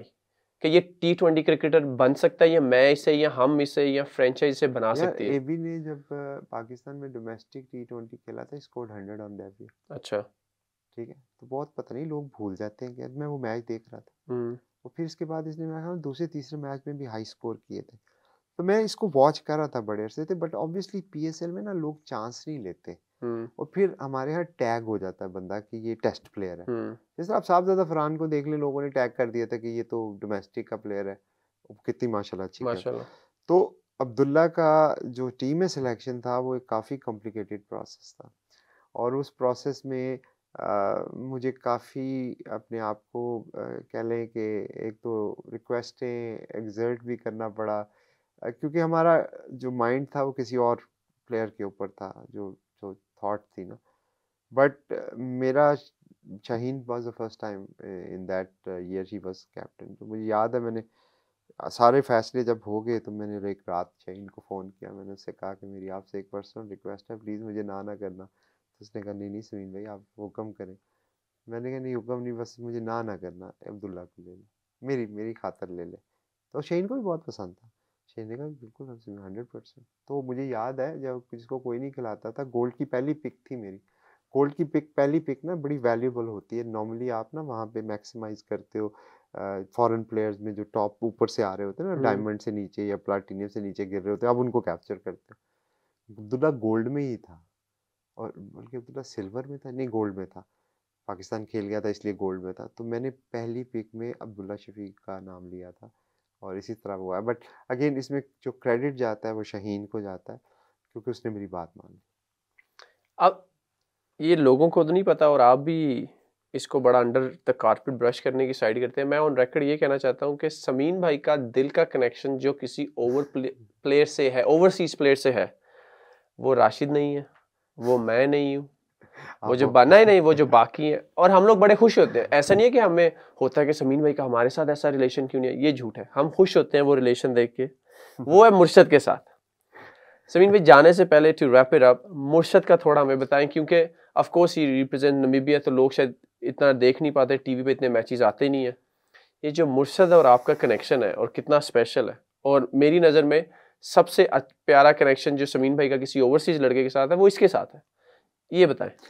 ये देखें जब मैंने आपको कहा था ना हम हीरे इकट्ठे कर रहे थे अल्लाह ताला ने ये खीरा मुझे उस सीज़न में दिया था जो मेरी ज़िंदगी का वर्स्ट तरीन सीज़न था। ठीक है। और मेरी ज़िंदगी का वर्स्ट तरीन मैच था जिसमें मैंने डेविड फाइंड किया था।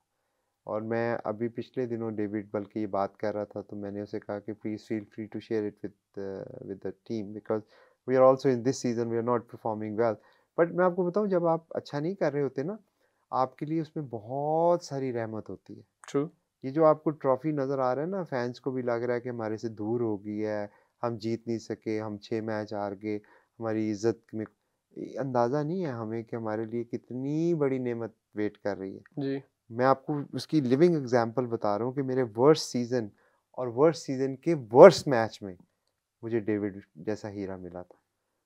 अभी भी हमें बहुत हीरे कुछ मिल रहे हैं जो हमें आने या हीरे या कोई ऐसा हमारे लिए बेनिफिट हो रहा है जो हमें आने वाले वक्तों में आप देखना True. पता लगेगा तो वो मैच था कराची में हमारा अगेंस्ट मुल्तान सुल्तान। हम हार गए थे टूर्नामेंट हम टूर्नामेंट से बाहर हो चुके थे।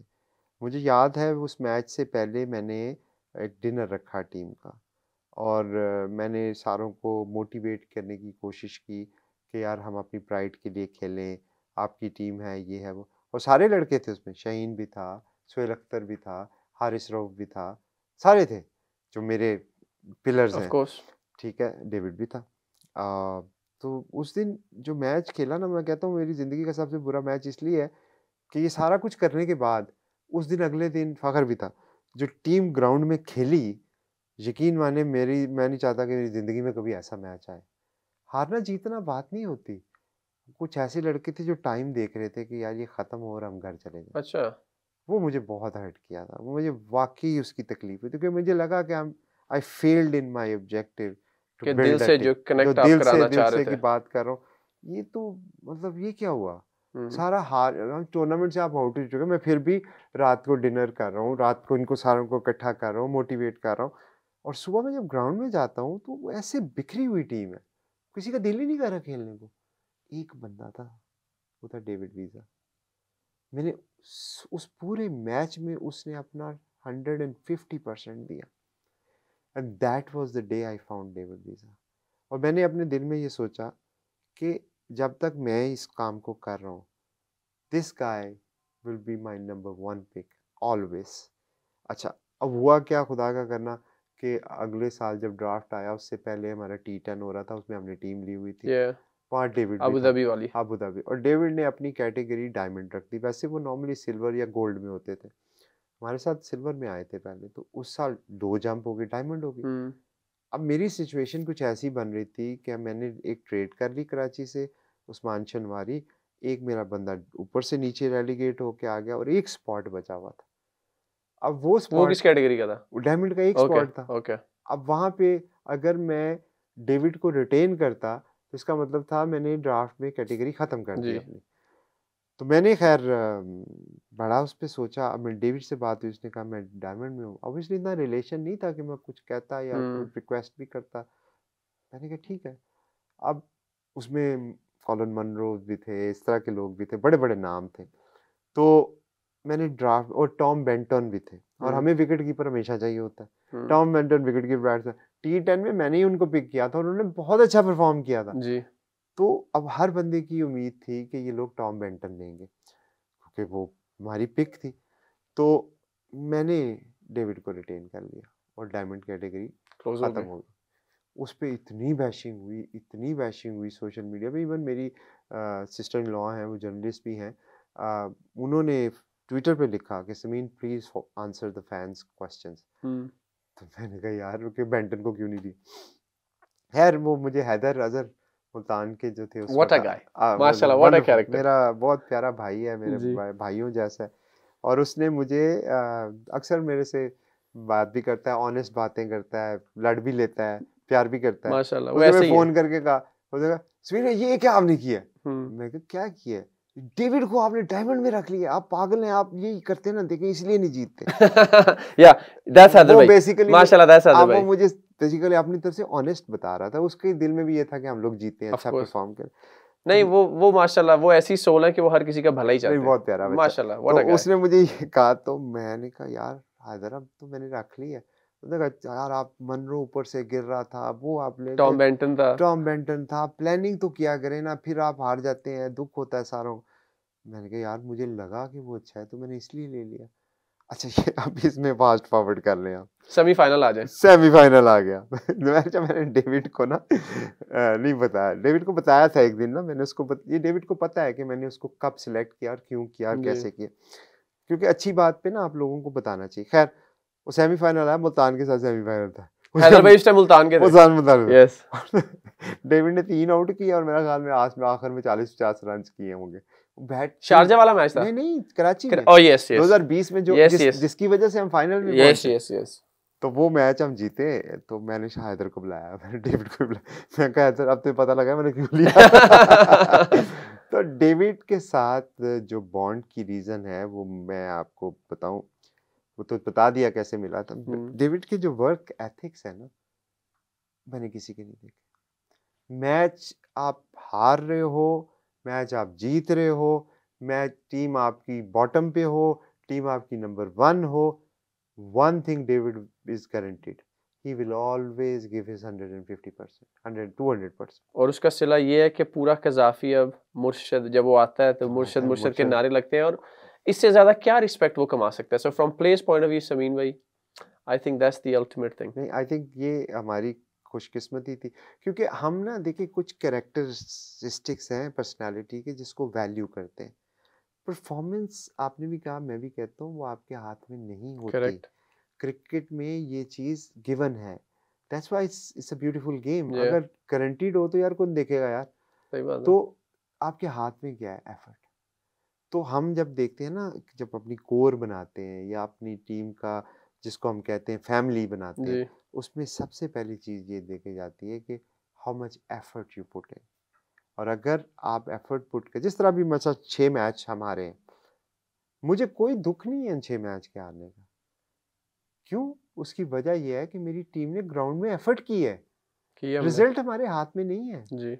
हर लड़का जब अंदर गया है उसने अपना हंड्रेड परसेंट दिया है। और ठीक है गलतियाँ हुई होंगी और ये पार्ट ऑफ़ द गेम है। मुझे दुख उस वक्त होता जो मैं कराची वाले मैच की बात करता हूँ। मुल्तान और लाहौर का उसमें एफर्ट नहीं थी। लेकिन उसमें एक हीरा मिल गया। True. तो तो ओवरऑल हमारी फिलॉसफी कलंदर में ये है कि value the player as a human by giving better performance आप अच्छे इंसान नहीं हो जाते। बुरी परफॉर्मेंस देने से आप बुरे इंसान नहीं हो जाते। परफॉर्मेंस आपका एक काम है जो आपसे कभी होगा कभी नहीं होगा। मैं आपको भी कभी परफॉर्मेंस पे वैल्यूएट नहीं करता। जी। मैं आपको वैल्यूएट इस बात पे करता हूँ what kind of a person you are और this has bring us lot of success माशाल्लाह। Thank you Sikandar for what a lovely lovely evening I think बहुत सारी बातें ऐसी हैं जिस पे हम और भी बात कर सकते हैं लेकिन मेरा ख्याल में इसको फिर किसी इस नशिस्त को फिर किसी दिन करेंगे जहाँ पे हम टारगेट करेंगे लीग्स को लीग्स की मैनेजमेंट को। हाँ आपका भी उसमें बहुत इंटरेस्ट है मेरा भी इंटरेस्ट है और कुछ और टची सब्जेक्ट हो but for for the time being honestly speaking it was lovely talking to you. Thank you so much for s- giving me so much time. Sameen भाई कैमरे पे आप बोल रहे हैं मैं तो रोज आपके रूम में गप लगा रहा था। द ओनली डिफरेंस इज़ आज कैमरे so thank you for your time कैमरे पे इतना टाइम देने का। हाँ नहीं नहीं समीन भाई honestly for me is just a regular conversation ये कोई वंस ऑफ़ नहीं था माशाल्लाह। आपके साथ बॉन्ड और मोहब्बत ही ऐसी है कि we sit in your room काजू बादाम बाकी चीज़ें पड़ी होती हैं हम खाते रहते हैं कावा वा चाय चलती रहती है और बातें करते रहते हैं। सो इट वाज लवली कि चलें समीन भाई we did it for the first time let's see ये वैसे ये जो आइडिया जो रात को ही हमने कंसीव किया था वो अपनी नशिस्त में ही किया था। ऐसे ही है। यार हम ये जो गप लगाते हैं आपस में एक दफ़ा ट्राई करते हैं कैमरे में लगा के कैमरे हैं लोगों को समझाते हैं। लोगों को समझाते हैं हाँ। कोई ये कोई वो हमारा ना तो हम प्रोफेशनल पॉडकास्टर हैं है। ना हम कोई यूट्यूबर्स हैं ना हमें पता है कि ये कैसे चलता था। बस हमारा दिल किया कि अपने फैंस के साथ ये शेयर करें। तो हम आगे? तो हम आगे। आगे। But thank you so much thank you Sameen भाई। सी यू इंशाल्लाह वेरी सून अगेन इंशाल्लाह thank you Lahore Commanders have won the NHBL PSL and what a show!